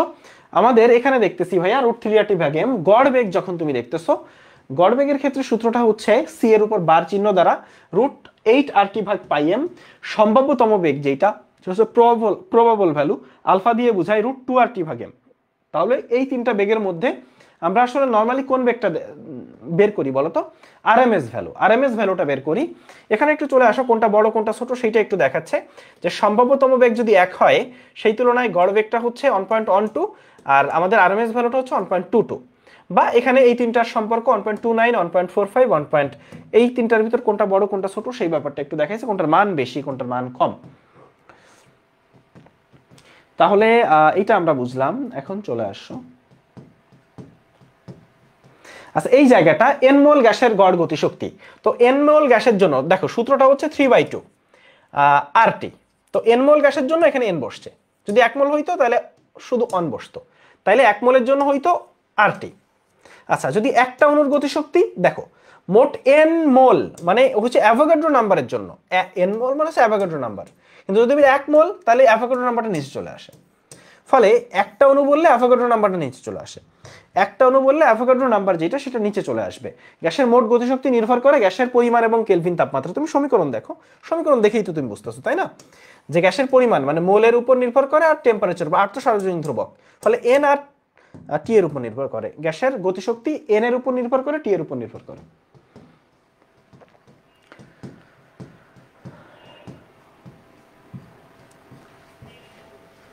আচ্ছা। ঠিক আছে, এই পার্টে ভালোই পড়া আছে।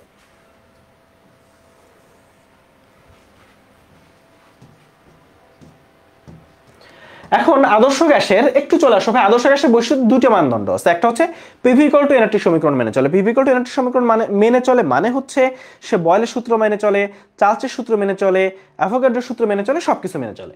আচ্ছা দুই নাম্বার হচ্ছে আদর্শ গ্যাসের অভ্যন্তরীণ শক্তি আর আয়তনের উপর নির্ভরশীল না।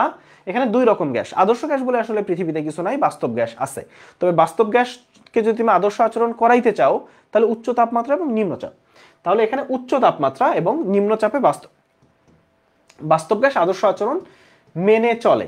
তাহলে কি বললাম? উচ্চ তাপমাত্রা এবং নিম্নচাপে বাস্তব গ্যাস আদর্শ আচরণ মেনে চলে। এই জায়গাটা দেখলাম। তাহলে আদর্শ, বাস্তব গ্যাস ভ্যান্ডারাল সমীকরণ মেনে চলে, আদর্শ গ্যাস। আদর্শ গ্যাস সমীকরণ মেনে চলে। এই দুটার ভিতরে ডিফারেন্স কি সেটা একটু জানব। আরেকটা ব্যাপার একটু খেয়াল রাখো। এখানে সংকোচনশীলতা গুণাঙ্ক যেটা সেটা হচ্ছে জেড তো আদর্শ গ্যাসের ক্ষেত্রে এটা ওয়ান আর বাস্তব গ্যাসের ক্ষেত্রে এটা হয় একের থেকে বেশি হবে না এলে কম হবে। তো যাদের আণবিক ভর কম, একটু খেয়াল করো ভাইয়া, যাদের আণবিক ভর কম, হাইড্রোজেন, হিলিয়াম আণবিক ভর কম, তাদের একের চেয়ে বেশি। জেড বা সংকোচনশীলতা গুণাঙ্কের মানা যাদের আণবিক ভর বেশি, তাদের একে থেকে কম। যাদের আণবিক ভর বেশি, তাদের এখানে কয়েকটা গ্যাসের আরএমএস ভ্যালু দেওয়া আছে, এটা একটু জানতে হবে। আচ্ছা বাস্তব গ্যাস অ্যামাগার পরীক্ষা। তাহলে কার পরীক্ষা হয় বাস্তব গ্যাসের ক্ষেত্রে অ্যামাগার পরীক্ষা।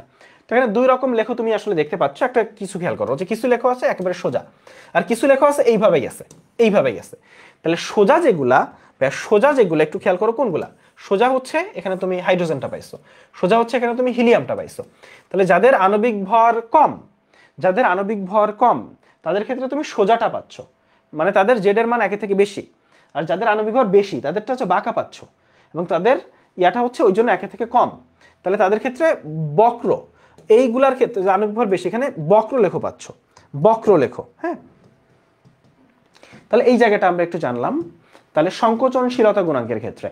তাহলে এখানে খেয়াল করো ভাইয়া, আবারও দেখো যে যাদের, এখানে আসলে নাইট্রোজেনটা এখানে আসার কথা, একটু ভুল লিখছে। তো এখানে খেয়াল করো, এখানে দেখো জেডের মান একের থেকে কম। তাহলে এই যে সরি একের থেকে বেশি, জেড হচ্ছে একের থেকে বেশি। তাহলে হাইড্রোজেন হিলিয়ামের ক্ষেত্রে আণবিক ভর কম হইলে জেডের মান বেশি। আর আণবিক ভর বেশি হলে জেডের মান কম। আণবিক ভর যখন বেশি পাচ্ছ তুমি, তখন সেটা ভাইয়া জেডের মান কম। এখন আমরা এই জায়গাটায় একটু চলে আসি। এই জায়গাটা আমরা বুঝছি। আচ্ছা এখানে আবারও সেই আলোচনা আছে যে যখন তুমি আসলে জেড বের করবা জেড কেমনে বাইর করে? জেড হচ্ছে কিন্তু পিভি ভাগ আরটি জেড কেমনে বাইর করে ভাইয়া? এই যে পিভি ভাগ আরটি সমান জেড পিভি ভাগ আরটি সমান, ওই যে পিভি কল এনআরটি ছিল না? পিভি উপরে, নিচে হচ্ছে আরটি তার যে মান, সেটা হচ্ছে জেড জেডটা হচ্ছে সংকোচনশীলতা গুণাঙ্ক। এটার মান একের চেয়ে বেশি হইলে হাইড্রোজেন, হিলিয়ামের ক্ষেত্রে একের চেয়ে কম হয়। হচ্ছে নাইট্রোজেন, অক্সিজেন যাদের আণবিক বেশি তাদের ক্ষেত্রে, কার্বন ডাইঅক্সাইড এগুলোর ক্ষেত্রে, আর হচ্ছে আদর্শ গ্যাসের ক্ষেত্রে জেডের মান একের সমান। আদর্শ গ্যাসের ক্ষেত্রে জেডের মান হচ্ছে একের সমান। ভ্যান্ডার সমীকরণটা একটু জানতে হবে। বাস্তব গ্যাস আসলে ভ্যান্ডার ওয়ালস সমীকরণ মেনে চলে। কোন সমীকরণ ভাইয়া? ভ্যান্ডার ওয়ালস সমীকরণ মেনে চলে। ঠিক আছে। এইখানে চমৎকার কিছু ব্যবহার আছে। খুবই ভালো কিছু ব্যবহার, যেমন এলপি গ্যাস। এলপি গ্যাসের ক্ষেত্রে এখানে আসলে বিপি। কি কি ভাইয়া? বিপি। পঁচাত্তর পঁচিশ। বিতে বিউটেন, পিতে প্রোপেন। পঁচাত্তর পার্সেন্ট, পঁচিশ পার্সেন্ট। এলপি গ্যাসের ক্ষেত্রে পঁচাত্তর পঁচিশ, এইটা তুমি পাচ্ছ সিএনজি। সিএনজির ক্ষেত্রে আসলে কি থাকে? মিথেন থাকে নাইনটি ফাইভ থেকে নাইনটি নাইন পার্সেন্ট। লোহা কাটা, জোড়া লাগার কাজে। অর্থাৎ লোহা, লোহার ক্ষেত্রে তুমি দেখবা যে অ্যাসিটিলিন। তারপর হচ্ছে এই যে এলপি গ্যাস কত চাপে তরল করা হয়। এখানে বেশ কিছু চমৎকার তথ্য আছে। এই জায়গাগুলো আমাদের একটু জানা দরকার। আচ্ছা এখানে আরও কিছু তথ্য আছে, যেমন এলপিজি, এদের কিছু বৈশিষ্ট্য আছে, যেমন এলপিজির কোনো গন্ধ নাই, তাই এলপিজি গ্যাসের ক্ষেত্রে মার ক্যাপ্টেন যোগ। মার ক্যাপ্টেনের সংকেত কি সেটা জানবা। এই যে, এটা হচ্ছে মার ক্যাপ্টেনের সংকেত। তারপর হচ্ছে ক্লিন ফুয়েল কোনটা? ক্লিন ফুয়েল মানে কি? যা ধোয়া হয় না সেটা ক্লিন ফুয়েল। এখন একটু চলে আসা কাঠ দহনে আসলে গ্রিন হাউস গ্যাস বের হচ্ছে? তারপর হচ্ছে ক্লিন ফুয়েল কারা? ক্লিন ফুয়েলগুলো পরিবেশ বান্ধব হ্যাঁ? তো কাদের ক্যালোরিফিক মান কত? এখানে কিছু ক্যালোরিফিক মান দেওয়া আছে, এই জায়গাগুলো আমরা একটু জানব। আচ্ছা এখানে দেখো কিছু সন্ধি তাপমাত্রা। তো সন্ধি তাপমাত্রার ক্ষেত্রে এইখানে যেগুলো আছে, সেইগুলা পড়বা। এইখানে যেগুলো আছে ভাইয়া, এখানেও সন্ধি চাপ এইখানে যেগুলো। মানে এখানে তো অনেক আছে। ফলে দেখো, এখানেও আছে এখানেও আছে। ফলে সেটা বেশি ইম্পর্টেন্ট না। ফলে এইখানে যেগুলো আছে, সেগুলো বেশি ইম্পর্টেন্স দিয়ে পড়বা। আচ্ছা এখন এটা আমরা দেখলাম। আচ্ছা তারপর উৎক্রম তাপমাত্রা। এই যে, যেগুলো হচ্ছে এখানেও আছে, চার্টেও আছে। সেগুলো বেশি ইম্পর্ট্যান্ট তাহলে এখানে দেখো, এইখানের যে সন্ধি তাপমাত্রা, সন্ধি চাপ, এইগুলা, হাইড্রোজেন, হিলিয়াম, এই দুটো বেশি ইম্পর্টেন্ট ওকে তাহলে মেইনলি বইয়ের ভিতরে যেগুলো দাগানো, ওগুলা হচ্ছে বেশি মনোযোগ দিয়ে পড়বা। চার্টের, কারণ ওগুলো চার্টেও আছে, ফলে চার্টে আর বইয়ের ভিতরেও আছে, তাই ওইটা বেশি আসার সম্ভাবনা। আচ্ছা এখন একটু চলে আসো নাইট্রোজেন ফিক্সেশন। তো নাইট্রোজেন ফিক্সেশনে কি হয়? যে, দেখো, তিন হাজার ডিগ্রি সেলসিয়াস তাপমাত্রায় আসলে নাইট্রোজেনটা আসলে ভাঙে। তো তখন নাইট্রোজেনটা ভেঙে নাইট্রিক অক্সাইড তৈরি হয়। এটা হচ্ছে নাইট্রোজেন ফিক্সেশনের বিক্রিয়া। তাই নাইট্রোজেনটা থেকে নাইট্রিক অক্সাইড তৈরি হচ্ছে তিন হাজার ডিগ্রি সেলসিয়াস তাপমাত্রায়। বিদ্যুৎ ক্ষরণে তিন হাজার ডিগ্রি সেলসিয়াস তাপমাত্রা তৈরি হয়। কত ডিগ্রি? তিন হাজার ডিগ্রি সেলসিয়াস তাপমাত্রা তৈরি হয়। এখন একটু চলে আসো, অ্যামোনিয়া তৈরি। তো অ্যামোনিয়ার ক্ষেত্রে তুমি একটু খেয়াল করো, হেবার পদ্ধতিতে হাইড্রোজেন আর নাইট্রোজেন গ্যাসের থেকে অ্যামোনিয়া তৈরি হয়। কি তৈরি হয় ভাইয়া? অ্যামোনিয়া। তারপর অ্যামোনিয়া গ্যাস থেকে ইউরিয়া তৈরি হয় কখনো কখনো। তাহলে ওয়াসল্ট পদ্ধতিতে নাইট্রিক অ্যাসিড থেকে, দেখো, যে অ্যামোনিয়া গ্যাসের প্রভাবীয় কারণে নাইট্রিক অ্যাসিড উৎপাদন করা হয়। তাহলে কোন পদ্ধতিতে কি তৈরি করা হয় সেই ব্যাপারগুলো এখানেও আলোচনা। ঠিক আছে, এই যে হেবার অসওয়াল্ট আমরা সবাই জানি ছোটকাল থেকে। আচ্ছা বায়োলজিক্যাল ফিক্সেশনের ক্ষেত্রে এই জায়গাটা একটু দেখবা, কোন কোন উদ্ভিদের ক্ষেত্রে? অ্যালগি, মটর স্ট্রিম সোলা, এগুলার ক্ষেত্রে হচ্ছে এদের যেই কি বলা যায় গুড়ি, শিকড়ের যে গুটি, ওই গুটিতে আসলে এই কিছু ব্যাকটেরিয়া আছে, এই ব্যাকটেরিয়াগুলা নাইট্রোজেনটা শোষণ করে। এই ব্যাকটেরিয়াগুলো নাইট্রোজেনটা। তাহলে কোন কোন উদ্ভিদের ক্ষেত্রে? এই লিগুমিনার জাতীয় যে উদ্ভিদগুলো, এগুলোর ক্ষেত্রে হচ্ছে নাইট্রোজেন ফিক্সেশনটা হয়। তো ঠিক আছে, নাইট্রোজেন ফিক্সেশনটা হয়। এই জায়গাটা গুরুত্বপূর্ণ। নাইট্রোজেনের বাতাসে নাইট্রোজেনের পরিমাণ আটাত্তর পার্সেন্ট সেই আলোচনা করা আছে। প্রাইমারি আর সেকেন্ডারি। এখন একটু চলে আসো ভাইয়া। প্রাইমারি যেগুলো, সেগুলো সাইজে ছোট। মানে প্রাইমারি থেকেই তো সেকেন্ডারি হয়। ফলে খেয়াল করো, এই যে, তুমি যদি দেখো, এই যে সিও সিও টু এগুলো ছোট। যেমন এখানে সালফার ট্রাইঅক্সাইড আছে, এখানে সালফার ডাই। তাহলে ডাইটা প্রাইমারি, সালফার ট্রাইটা হচ্ছে সেকেন্ডারি হ্যাঁ? যেমন ধরো এইচ টু এস আছে। এইচ টু এস প্রাইমারি, কিন্তু H two SO four secondary. তাইলে ছোট ফর্মটা হচ্ছে প্রাইমারি, আর বড় ফর্মটা হচ্ছে সেকেন্ডারি। দেখছ, এই যে এনও হচ্ছে প্রাইমারি, কিন্তু NO two N two O five এগুলো সেকেন্ডারি। ফলে এখানে দেখো, কার্বনের দুইটা সিও সিও টু সালফারের দুইটা SO two H two S নাইট্রোজেনের দুইটা এনও এন এইচ থ্রি আর ধুলিকণা ধোয়াশাই হাইড্রোকার্বন আর কি আছে? ধুলিকণা ধোয়াশাই হাইড্রোকার্বন ধুলিকণা ধোয়াশাই হাইড্রোকার্বন ছোট ফর্মটা প্রাইমারি বড় ফর্মটা হচ্ছে সেকেন্ডারি এইখান থেকে আমরা একটু প্রাইমারি কারা সেকেন্ডারি কারা এটা একটু জানব। দূষকের সিঙ্ক নামক একটা টার্ম আছে। সিঙ্ক বলতে বোঝায় যে ওরা আসলে ওই দূষকটাকে মানে কি বলা যায় ক্যাপচার করে নেয়, নিয়ে নেয়। ধরো একটা গ্যাস যেটা পরিবেশকে দূষণ করবে। তাহলে ওই সিঙ্ক ধর সবুজ উদ্ভিদ, ওই জিনিসটাকে ক্যাপচার করে নিচ্ছে।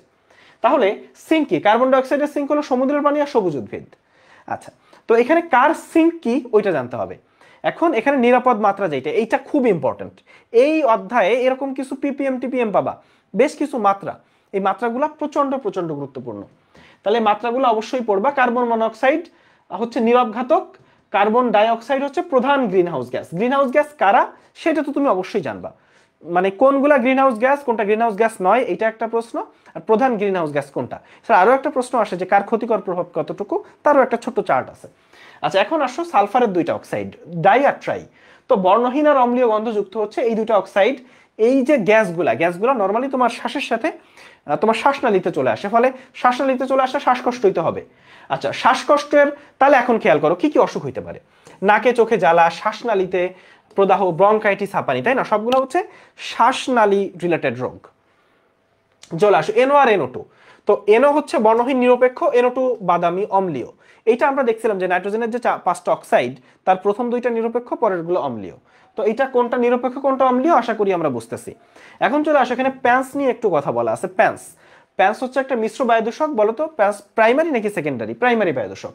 তো প্যান্সের ক্ষেত্রে প্যান্স আসলে কোনটা কোনটা কোনটা দিয়ে তৈরি হয়? এনও এনও টু ওজন তারপর হচ্ছে দহনমুক্ত হাইড্রোকার্বন ফ্রি রেডিকেল সব কিছু হচ্ছে প্যান্স তাহলে প্যান্স কি করে? ফটোকেমিক্যাল স্মগ স্মগ মানে স্মোক প্লাস ফগ এটার পিএইচ হচ্ছে দুই। এই জায়গাটা আমরা একটু জানব। এখন একটু চলে আসো। বায়ু দূষণের ক্ষেত্রে এখানে আসলে ক্ষতিকর প্রভাব কি সেটা একটু জানতে চাই। কার্বন মনোক্সাইড হচ্ছে তোমার নীরব ঘাতক। এটা রক্তে বিষক্রিয়া তৈরি করতে পারে এবং তুমি টেরো পাবা না। চলে আসো ফটোকেমিক্যাল স্মোক নাক এবং চোখে জ্বালা তৈরি করে। এছাড়া এই যে অম্লধর্মী সেকেন্ডারি দূষক যারা আছে, এই সেকেন্ডারি দূষকগুলো হচ্ছে অ্যাসিড বৃষ্টি ঘটায়। এখন গ্রিন হাউস প্রভাবের ক্ষেত্রে গ্রিন হাউসের টেম্পারেচার আটত্রিশ থেকে উনচল্লিশ। গ্রিন হাউস গ্যাস কারা গ্রিন হাউস গ্যাস না কারা? একটা জিনিস খেয়াল করো গ্রিন হাউসের প্রভাব নাই কাদের ক্ষেত্রে। তুমি খেয়াল করবা যে এইগুলার ক্ষেত্রে, যে অক্সিজেন হ্যাঁ? যে যেগুলো NO N two O two H two মানে যেগুলো হচ্ছে সেম সেম মৌলের আর কি। ওগুলার ক্ষেত্রে দেখবা যে গ্রিন হাউস গ্যাস প্রভাব নেই। N two H two O two হ্যাঁ? তাহলে এগুলার হচ্ছে গ্রিন হাউস গ্যাস প্রভাব আছে। এখন আমাদের গ্রিন হাউস এই যে দেখো H two O two N two এগুলোর গ্রিন হাউস গ্যাস প্রভাব নাই। তাহলে এন দুইটা এইচ দুইটা ও দুইটা, এগুলার গ্রিন হাউস গ্যাস প্রভাব নাই। কার্বন ডাইঅক্সাইড প্রধান গ্রিন হাউস গ্যাস বাকি গ্রিন হাউস গ্যাস কারা? বর্তমান পৃথিবীর অ্যাভারেজ টেম্পারেচার এই জায়গাটা গুরুত্বপূর্ণ। তাহলে গ্রিন হাউস গ্যাস কারা? প্রধান গ্রিন হাউস গ্যাস কোনটা? আর কার্বন ডাইঅক্সাইডের তুলনায় কার ক্ষতিকর প্রভাব কত percent carbon dioxide fifty percent এইটা হচ্ছে তোমার গুরুত্বপূর্ণ। গ্রিন হাউস গ্যাস শেষ হওয়ার পরে তুমি, আমরা একটু সিএফসি নিয়ে পড়াশোনা করি। তাহলে গ্রিন হাউসের ক্ষেত্রে সিএফসি সম্পর্কেও একটা আলোচনা আছে যে সিএফসির ব্যবহারগুলা কোথায়? সিএফসি হচ্ছে এসি ফ্রিজ এগুলার ক্ষেত্রে সিএফসি হিমায়ক হিসেবে ব্যবহার করা হয়, হিমায়ক যন্ত্রের তরল। এখন ওজন গ্যাস আমরা সবাই জানি যে ওজন গ্যাসও কিন্তু গ্রিন হাউস গ্যাস। আমরা জানি ওজন স্তর আছে স্ট্রেটোস্ফিয়ারে সেইটা একটা জিনিস, আর ওজন গ্যাস একটা গ্রিন হাউস গ্যাস। আচ্ছা ঠিক আছে, এরপরে আমাদের নাইট্রিয়াস অক্সাইড মানে আমরা গ্রিন হাউস গ্যাস সম্পর্কে আলোচনা করছে এখানে। আচ্ছা এখন চলে আসো। আচ্ছা এইখানে আসলে পৃথিবীতে সূর্য শক্তির কত পার্সেন্ট কি হয়? প্রতিফলিত হয় প্রতিশোধিত হয়, কত পার্সেন্ট শোষিত হয়, কত পার্সেন্ট সালোক সংশ্লেষণে ব্যবহৃত হয়, এই পার্সেন্টেজটা জানতে হবে। এখন চলে আসো, আমরা একটু সিএফসির ব্যবহার দেখতে চাই। তোমরা সিএফসির নামকরণ দেখছ। যে ইলেভেন টুয়েলভ একশো তেরো কীভাবে নামকরণ করে, আমি আশা করি তোমরা পারো। তো নামকরণ থেকে এই সংকেত, বিশেষ করে ইলেভেন আর টুয়েলভের সংকেতটা গুরুত্বপূর্ণ আর ব্যবহারটা ইম্পর্টেন্ট এখন ব্যবহারটা পড়ার পরে এখানে একটু চলে আসো, হ্যালোন্স হ্যালোন্স বা বিসিএফ এই যে ব্যবহারগুলো, এই ব্যবহারগুলো যখনই তুমি পাবা, মনে রাখবে এগুলো খুবই খুব ইম্পর্টেন্ট যে যখন বিভিন্ন ব্যবহার পাবো অগ্নি নির্বাপক রূপে কোনটা ব্যবহৃত হচ্ছে? হ্যালোন্স কীটনাশক রূপে কোনটা ব্যবহৃত হচ্ছে? Methyl bromide. হ্যাঁ এই জিনিসগুলা। ওজন স্তর ক্ষয়কারী। তাহলে ওজন স্তর ক্ষয়কারী কারা? প্রধান কোনটা? তাহলে খেয়াল করো গ্রিন হাউস গ্যাস কারা? প্রধান কোনটা? ওজন স্তর ক্ষয়কারী কারা? প্রধান কোনটা? এটা প্যাস লাগানো যাবে না। যেমন ওজন গ্যাস কিন্তু একটা গ্রিন হাউস গ্যাস। ওজন স্তর ক্ষয়কারী যারা আছে, তাদের নামগুলো দেখবা, যে যারা ওজন স্তরটা ক্ষয় ক্ষয় করতেছে। আচ্ছা এসিড বৃষ্টির ক্ষেত্রে চলে আসো, আমাদের ফাইভ পয়েন্ট সিক্সের যে পিএইচ আমাদের নর্মালি জানি যে আমাদের বিশুদ্ধ পানির পিএইচ হচ্ছে সাত। বিশুদ্ধ পানির পিএইচ হচ্ছে সাত। তো নর্মালি যদি পিএইচ ফাইভ পয়েন্ট সিক্সের নিচে নেমে যায়, ভূগর্ভস্থ পানির পিএইচ হচ্ছে ধরো সিক্স ছয় থেকে সাড়ে ছয় এরকম হ্যাঁ? তো যদি ফাইভ পয়েন্ট সিক্সের নিচে নেমে যায়, তাহলে সেটাকে আমরা অ্যাসিড বৃষ্টি, তিনটে অ্যাসিড আছে। বা এই অ্যাসিডগুলো কই থেকে তৈরি হয়? নাইট্রোজেনের অক্সাইডগুলো থেকে সালফারের অক্সাইড এগুলা থেকে আসলে এই প্রধান তিনটা অ্যাসিড তৈরি হয়, ওই সেই তিনটে অ্যাসিড সালফিউরাস সালফিউরিক আর নাইট্রিক তাহলে এই তিনটে অ্যাসিড হচ্ছে অ্যাসিড বৃষ্টির মূল কারণ অ্যাসিড বৃষ্টির ক্ষতিকর প্রভাব কি? এই ক্ষতিকর প্রভাবগুলো পড়বা। এখন চলে আসো, আমরা একটু এই জায়গায় চলে আসতে চাই। এখানে জিপসামের যে কথাটা FGD plant flue gas desulphurisation অর্থাৎ কলকারখানায় যেসব গ্যাস বাতাসে মিশে পরিবেশকে দূষিত করে, সেই গ্যাসগুলোকে শোষণের জন্য কিছু আধুনিক প্লান্ট যেই প্লান্টগুলো ওই গ্যাসগুলোকে শোষণ করে নেয়, ফলে পরিবেশ দূষিত হয় না। তাদেরকে এফজিডি প্লান্ট বলে। এফজিডি প্লান্টে উপজাত হিসেবে মানে জিপসাম তৈরি হয়, জিপসামের সংকেতটা জানতে হবে, জিপসাম ড্রাই ওয়াল তৈরিতে ব্যবহৃত হয়। জিপসাম ড্রাই ওয়াল তৈরিতে ব্যবহৃত হয়। এখন একটু চলে আসো, এই জায়গাটা। আমরা আরহেনিয়াসের এসিড খারাপ তত্ত্ব, তো আরহেনিয়াসের ক্ষেত্রে জলীয় দ্রবণটা খুব ইম্পর্টেন্ট আরহেনিয়াস, এখানে জলীয় দ্রবণ। দেখব যে পানি ব্যাপারটা আছে হ্যাঁ? তাহলে এখানে এসিডের ক্ষেত্রে জলীয় দ্রবণে হাইড্রোজেন আয়ন দান করে, আর ক্ষারের ক্ষেত্রে জলীয় দ্রবণে হাইড্রোক্সিল আয়ন দান করে। ফলে এখানে জলীয় ছাড়া, পানি ছাড়া আরহেনিয়াসের তথ্য খাটে না।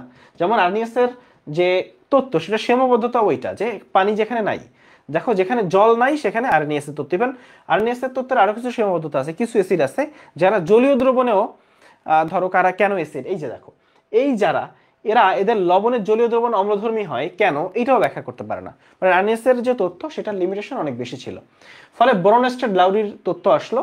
তো এটাকে আসলে প্রোটনীয় তত্ত্ব বলা হয়। হ্যাঁ ফলে এখানে হয় প্রোটন দান করবে, না নাহলে গ্রহণ করবে? অ্যাসিড দান, ক্ষার গ্রহণ করে। প্রোটন অ্যাসিড দান করে, যেখানে মানে যে প্রোটন দান করে সে হচ্ছে অ্যাসিড ব্রোনস্টার লাউরির মতবাদ অনুসারে। আর যে প্রোটন গ্রহণ করে সে হচ্ছে ক্ষার। যে প্রোটন গ্রহণ করে সে হচ্ছে ভাইয়া ক্ষার। ফলে এটাকে প্রোটনীয় তত্ত্ব বলা হয়। ফলে এই তত্ত্বকে প্রোটনীয় তত্ত্ব বলা হয়।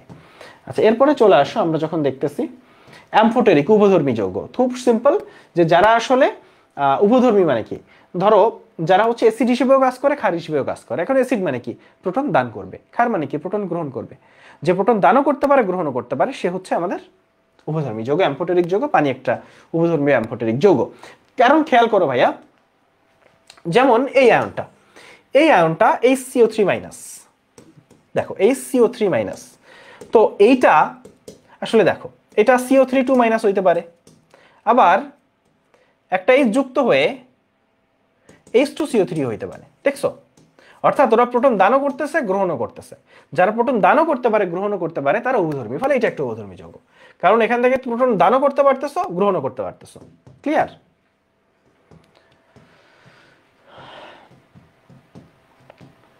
কিন্তু যদি আমি তোমাকে বলি যে সিও থ্রি টু মাইনাস এখানে খেয়াল করো, হাইড্রোজেন কিন্তু তুমি বাদ দিতে পারতেছো না।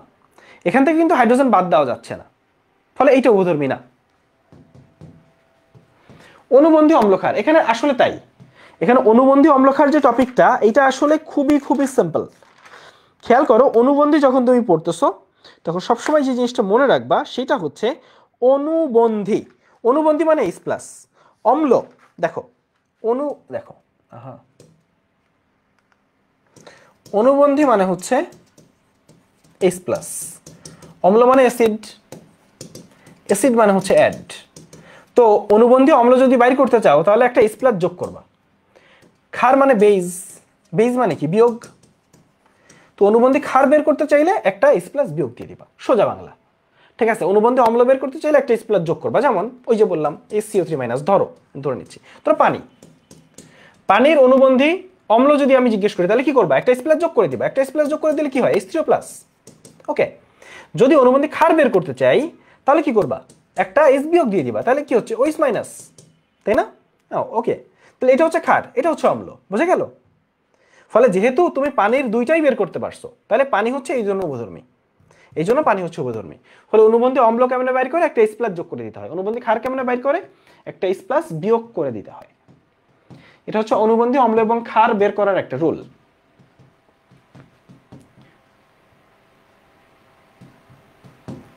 আচ্ছা এখন এই যে ক্রমটা আছে, একটা অ্যাসিডের ক্রম। এখন দেখো, তোমরা, তোমাদের আগে আমি দেখাইছি যে কীভাবে আসলে অ্যাসিডের শক্তিমাত্রা বোঝা যায় কীভাবে ক্ষারের শক্তিমাত্রা বোঝা যায়, তার কিছু রুলস আছে। স্টিল তুমি এই চারটা একটু, বিশেষ করে প্রথম কয়েকটা অবশ্যই একটু মনে রাখবা, বিশেষ করে এই সেপ পর্যন্ত। যে কোনটা শক্তিশালী অ্যাসিড কোনটা দুর্বল অ্যাসিড একটু মনে রাখবা, ঠিক আছে? সব বুঝেও অনেক সময় অনেক কিছু মনে রাখতে হয়। দুইটাই গুরুত্বপূর্ণ। আচ্ছা তাহলে লুইস অ্যাসিডের ক্ষেত্রে একটু চলে আসো। লুইস অ্যাসিড হলো ইলেকট্রন জোড় গ্রহণ করে আর ক্ষার ইলেকট্রন জোড় দান করে। আগে কি দেখছিলাম? যে প্রোটন গ্রহণ করতেছে, প্রোটন দান করতেছে। কেন হচ্ছে ইলেকট্রন জোড় গ্রহণ করে, ইলেকট্রন জোর দান করে। এখন তুমি আমাকে বলো, যে গ্রহণ করতেছে, তার নিশ্চয় অভাব আছে? তাইলে যার অষ্টক অপূর্ণ, সে হচ্ছে লুইস অ্যাসিড। আর যে দান করতেছে, তার নিঃসঙ্গ ইলেকট্রন আছে। ওই যে অ্যামোনিয়া পানি। তাহলে অ্যামোনিয়া পানি কি? লুইস খার কেন? কারণ এদের নিঃসঙ্গ ইলেকট্রন যুগল আছে, তাই দান করতে পারে।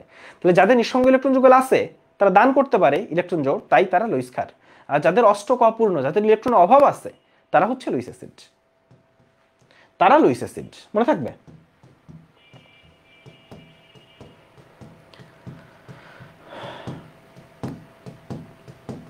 এখন এই জায়গায় মিঠা পানির উৎস, কোথায় কত পার্সেন্ট পানি পাওয়া যায়, খুব ইম্পর্টেন্ট এই উৎসটা পড়বা সেকেন্ড এইটা কিন্তু পড়বা ভাইয়া, উৎস কোথায় কত পার্সেন্ট আর তারপর এই যে খর পানি, তো খরতা দুই রকম, স্থায়ী আর অস্থায়ী। তো স্থায়ী অস্থায়ী খরতা ফুটাই দূর করা যায় অস্থায়ী খরতা আয়ন এক্সচেঞ্জ যে পদ্ধতি, সেই পদ্ধতিতে আসলে দূর করতে হয়। আর এই যে খরতা হয় তিনটা আয়নের জন্য, ক্যালসিয়াম, ম্যাগনেসিয়াম আর আয়রন।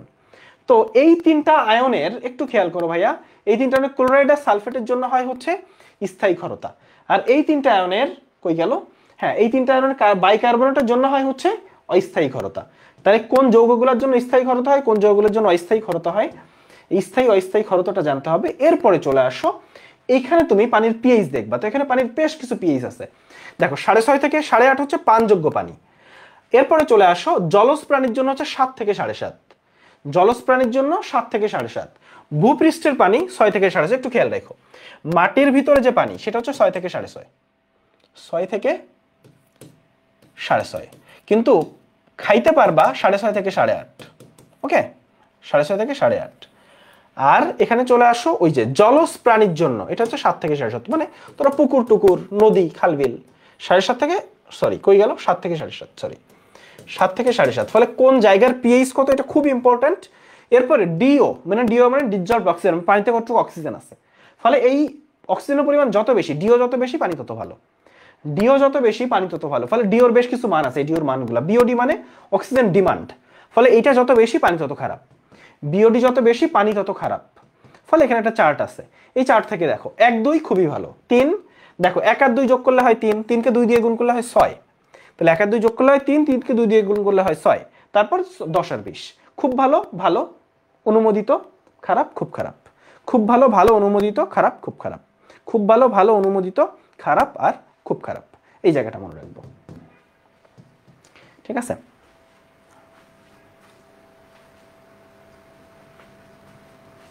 ওকে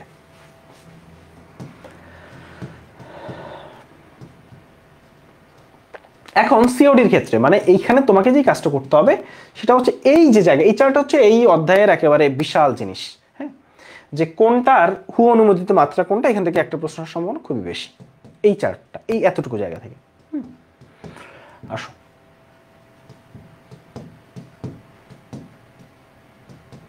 আচ্ছা এই জায়গায় একটু চলে আসো, এখানে বেশ কিছু ব্যাপার আছে। এই যে, কার দূষণ কত? এখানে কি বেশ কিছু সংকেত আছে, এই সংকেতগুলো জানতে হবে। প্রাকৃতিক বিষের রাজা হচ্ছে আর্সেনিক।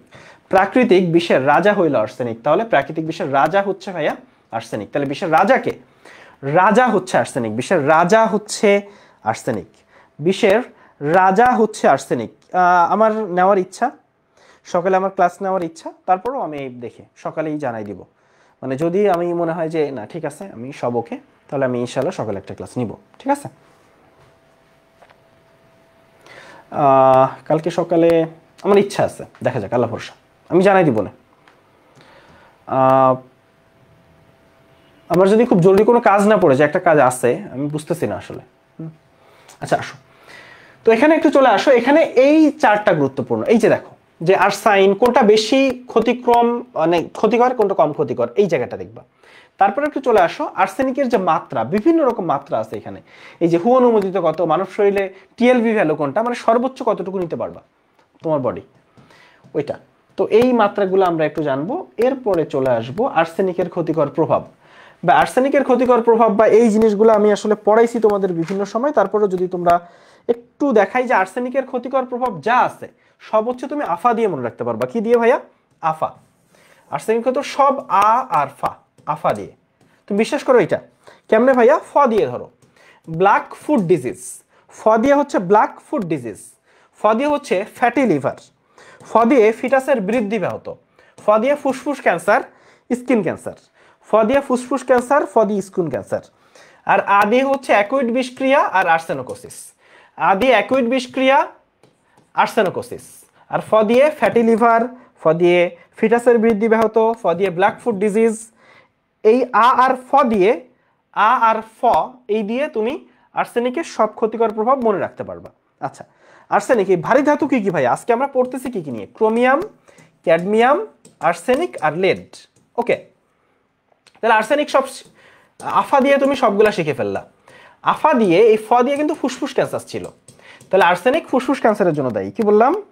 আর্সেনিক এখানে একটু বলে রাখি, এই যে লেড বাদে এই তিনজনই আসলে ফুসফুস ক্যান্সার করে। লেড বাদে তিনজনই ফুসফুস ক্যান্সার করে। ফলে আমরা একটা জিনিস কিন্তু বলে রাখতে পারি যে ক্রোমিয়াম ফুসফুস ক্যান্সার করে। ফলে ক্রোমিয়াম একটা জিনিস দেখলাম, ফুসফুস ক্যান্সার। ক্রোমিয়াম আর একটা কাজ করে, সেটা হচ্ছে রক্ত শূন্যতা তাইলে লেড আর ক্রোমিয়াম রক্ত শূন্যতা দেখো লেড আর ক্রোমিয়াম হচ্ছে রক্ত শূন্যতা ঠিক আছে? তাহলে দেখো, এই তিনজন ফুসফুস ক্যান্সার। আর লেড আর ক্রোমিয়াম রক্ত শূন্যতা ফলে একটা জিনিস খেয়াল করো, ক্রোমিয়ামটা কমন পড়ে গেছে। এই ক্রোমিয়াম রক্ত শূন্যতা এই ক্রোমিয়াম ফুসফুস ক্যান্সার। ফলে ক্রোমিয়ামের সবচেয়ে বিখ্যাত দুইটা ব্যবহার হচ্ছে ফুসফুস ক্যান্সার আর রক্ত শূন্যতা ফুসফুস ক্যান্সার আর রক্ত শূন্যতা লেডের যে ক্ষতিকর প্রভাব, সেটা আসলে দেখো, একটা হচ্ছে রক্ত শূন্যতা তুমি পেয়ে গেছো। তো লেডের ক্ষতিকর প্রভাব একটা লাইন দিয়ে মনে রাখা যায়, নীল আর ডেড সন্তানের আইকিউ কম। নীলার ডেড সন্তানের আইকিউ কম। দেখো ভাইয়া, নীলা দিয়ে হচ্ছে দাঁতের মারি নীলাভ। র দিয়ে রক্ত শূন্যতা ডেড সন্তান মানে মৃত সন্তান প্রসব। আর যে বাচ্চাটা ভূমিষ্ঠ হয়, তার আইকিউটা হ্রাস পায়। তাহলে নীলাভ নাম মারি রক্ত শূন্যতা মৃত সন্তান প্রসব আর আইকিউ হ্রাস পায়। এটা হচ্ছে তোমার লেডের ক্ষতিকর প্রভাব। আর বাইরে আর কি আছে? ক্যাডমিয়াম। তো ক্যাডমিয়াম রাখবা, ক্যাডমিয়াম দিয়ে কিডনির সমস্যা। ক্যাডমিয়াম দিয়ে কিডনির সমস্যা। আর রোগগুলো একটু খেয়াল করো, ক্যাডমিয়ামের রোগগুলো। Itai itai, ouch ouch. তাইলে ক্যাডমিয়াম হচ্ছে কিডনি বা ক্যান্সার, ক দিয়ে ক্যান্সার। তাহলে ক্যাডমিয়ামের জন্য কিডনি মানে কিডনির সমস্যা, ক্যান্সার হতে পারে ক দিয়ে দুইটা। এরপরে দুইটা রোগ আছে, ইটাই ইটাই, আউচ আউচ। এই দুইটা রোগী হচ্ছে itai itai, ouch ouch, repeat. সেটা কিন্তু ক্যাডমিয়ামের ক্ষেত্রে। সেটা হচ্ছে ক্যাডমিয়ামের ক্ষেত্রে। আর একটা রোগ হয় ক্যাডমিয়ামের ক্ষেত্রে অস্টিওপোরোসিস। ক্যাডমিয়ামের আর একটা রোগ হয়, সেটা হচ্ছে অস্টিওপোরোসিস। এটা হচ্ছে অস্থি ভঙ্গুর হয়ে যাওয়া। অস্টিওপোরোসিস। অস্টিওপোরোসিসে কি হয় ভাইয়া? অস্থি ভঙ্গুর হয়ে যায়। অস্টিওপোরোসিসে ভাইয়া অস্থি ভঙ্গুর হয়ে যায়। এই জায়গাটা আমাদের জন্য গুরুত্বপূর্ণ। এখন চলে আসো সর্বশেষ। এই যে এই ব্যবহারগুলো, আমি আশা করি এই ব্যবহারগুলো পড়াই দিতে পারছি। সর্বশেষ যেটা দেখব সেটা হচ্ছে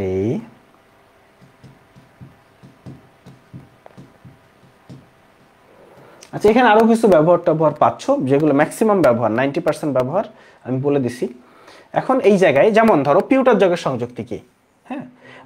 এরপর হচ্ছে এই যে ডেন্টাল আমালগামের সংযুক্তি কি? এই জিনিসগুলো আসতে পারে। তার হচ্ছে কার্বোনেটেড আউটার কি? পানিতে কার্বন ডাইঅক্সাইড হচ্ছে কার্বোনেটেড আউটার ফলে এই জায়গাগুলো আমরা একটু খেয়াল রাখব যে কোনটা সংযুক্তি কি এবং কোনটা আসলে কি রকম তরল গ্যাসের মিশ্রণ কোনটা, এটা একটু কম গুরুত্বপূর্ণ। এরকম এই যে সংযুক্তিগুলো একটু বেশি ইম্পর্টেন্ট হ্যাঁ? গ্যাসোলিন কি, হাইড্রোকার্বন মিশ্রণ, হুম? তাহলে এই জায়গাটা যে এখানে আমাদের এই যৌগগুলা কিসের কিসের সংযুক্তি, এটা আশা করি বুঝে বুঝে পড়তে পারব আমরা, এই তো। আর সর্বশেষ এই জায়গাটা আমরা তিন নম্বর অধ্যায়ও দেখতেছিলাম, তাই না? তো এটা আসলে খুবই সহজ, তোমরা একটা জিনিস জানো। আচ্ছা দেখো একটা জিনিস একটু বলি, যে তোমাদের একটা জিনিস, এই জিনিসটা একটু দেখাই, সেটা হচ্ছে, ধরো এইচপি হাইড্রোজেন আর ফসফরাস, এদের HP CSI two point five carbon sulphur iodine, এটার ইলেকট্রোনেগেটিভিটি হচ্ছে two point five NCL nitrogen আর ক্লোরিন কত? তিন, অক্সিজেন থ্রি পয়েন্ট ফাইভ আর ফ্লোরিন চার। এগুলো কেন জানা গুরুত্বপূর্ণ? যে কোনো একটা যৌগের, যেমন পানি, পানির ক্ষেত্রে কত? অক্সিজেন হচ্ছে থ্রি পয়েন্ট ফাইভ হাইড্রোজেন কত? Two point one for electronic two one point four মানে তোমাকে মনে রাখতে হবে পয়েন্ট ফাইভ থেকে ওয়ান পয়েন্ট নাইনের মধ্যে হইলে তা সেই যৌগটা পোলার তাহলে পানি কি? পোলার পানি ওয়ান পয়েন্ট ফোর তাহলে পানি পোলার ঠিক আছে? আর যদি পয়েন্ট ফাইভের নিচে হয় পয়েন্ট ফাইভের নিচে হয়, তাহলে সেটা অপোলার। এখন পোলার অপোলারের আলোচনা কেন আসতেছে এখানে? পোলার অপোলারের আলোচনা আসতেছে কারণ পোলার যৌগগুলা ডাইপোল ডাইপোল তৈরি করে। কি তৈরি করে ভাই? ডাইপোল আর অপোলার যৌগগুলো হচ্ছে আবিষ্ট ডাইপোল তৈরি করে। অপোলার যারা, তারা আবিষ্ট ডাইপোল তৈরি করে। আবিষ্ট ডাইপোল আবিষ্ট ডাইপোল আর হাইড্রোজেনের, হাইড্রোজেন বন্ধনের ক্ষেত্রে জানো, hydrogen plus FON FON. Fluorine, oxygen বা নাইট্রোজেন যদি হাইড্রোজেনের সাথে যুক্ত হয়, সেখানে হাইড্রোজেন বন্ধন পাওয়া যায়। সেখানে তুমি হাইড্রোজেন বন্ধন পাবা, ঠিক আছে? এখন আরেকটা জিনিস, এখন ধরো, তোমাকে বলল যে, আমি বললাম সোডিয়াম আয়ন আর পানির মধ্যে কি বন্ধন আছে? সোডিয়াম আয়ন ও পানি। এখন তুমি জানো, এটা হচ্ছে আয়ন। আর পানি কি? পোলার। পোলার মানে হচ্ছে ডাইপোল বন্ধন। তাহলে এখানে আছে আয়ন ডাইপোল বন্ধন। এখানে আছে কি বন্ধন ভাইয়া? Ion dipole. যেমন ধরো, তোমাকে আমি দিলাম আয়রন টু প্লাস আর কি হতে পারে? ধর অক্সিজেন। তাহলে এখানে হচ্ছে আয়ন, এটা হচ্ছে তোমার অপোলার যৌগ। ফলে এখানে হচ্ছে আয়ন আবিষ্ট ডাইপোল বন্ধন। এখানে কি বন্ধন আছে? আয়ন, এটা আয়ন আর এটা আবিষ্ট মানে অপোলার, তাই আবিষ্ট ডাইপোল। এখানে আছে আয়ন আবিষ্ট ডাইপোল বন্ধন। এখানে আছে ভাইয়া আয়ন আবিষ্ট ডাইপোল বন্ধন। এইভাবে তুমি একটা যৌগ দেখে বলে দিতে পারবা কোথায় কি বন্ধন আসলে আছে, কোথায় কি বন্ধন আছে। যেমন, হাইড্রোজেন বন্ধনের ক্ষেত্রে দেখবা যে হাইড্রোজেন প্লাস ফন প্লাস পানি যদি থাকে, সেখানে তুমি হাইড্রোজেন বন্ধন পাবো। যেমন আমি তোমাকে দিলাম যে CS three NH two plus পানি। খেয়াল করো এই যৌগ। এখানে তুমি দেখো যে হাইড্রোজেনের সাথে নাইট্রোজেন আছে, তাই না? তাহলে এই যৌগটা সাথে পানি যুক্ত আছে, ফলে এখানে হাইড্রোজেন বন্ধন আছে। তাহলে যদি হাইড্রোজেনের সাথে ফন থাকে আর সাথে পানি যুক্ত থাকে, সেখানে আসলে হাইড্রোজেন বন্ধন আছে। সেখানে আসলে হাইড্রোজেন বন্ধন আছে, ঠিক আছে? সেখানে হাইড্রোজেন বন্ধন আছে। ফলে এখানে তুমি যদি বলে দেয়, তাহলে কি এখানে কি বন্ধন আছে? আয়ন ডাইপোল ডাইপোল ডাইপোল, আবিষ্ট ডাইপোল আবিষ্ট ডাইপোল, লন্ডন বল বা বিস্তারণ বল কোনটা? সবচেয়ে দুর্বল বল তাদের শক্তি মাত্রা কত? এই জায়গাগুলো তোমাকে একটু জানতে হবে, ঠিক আছে?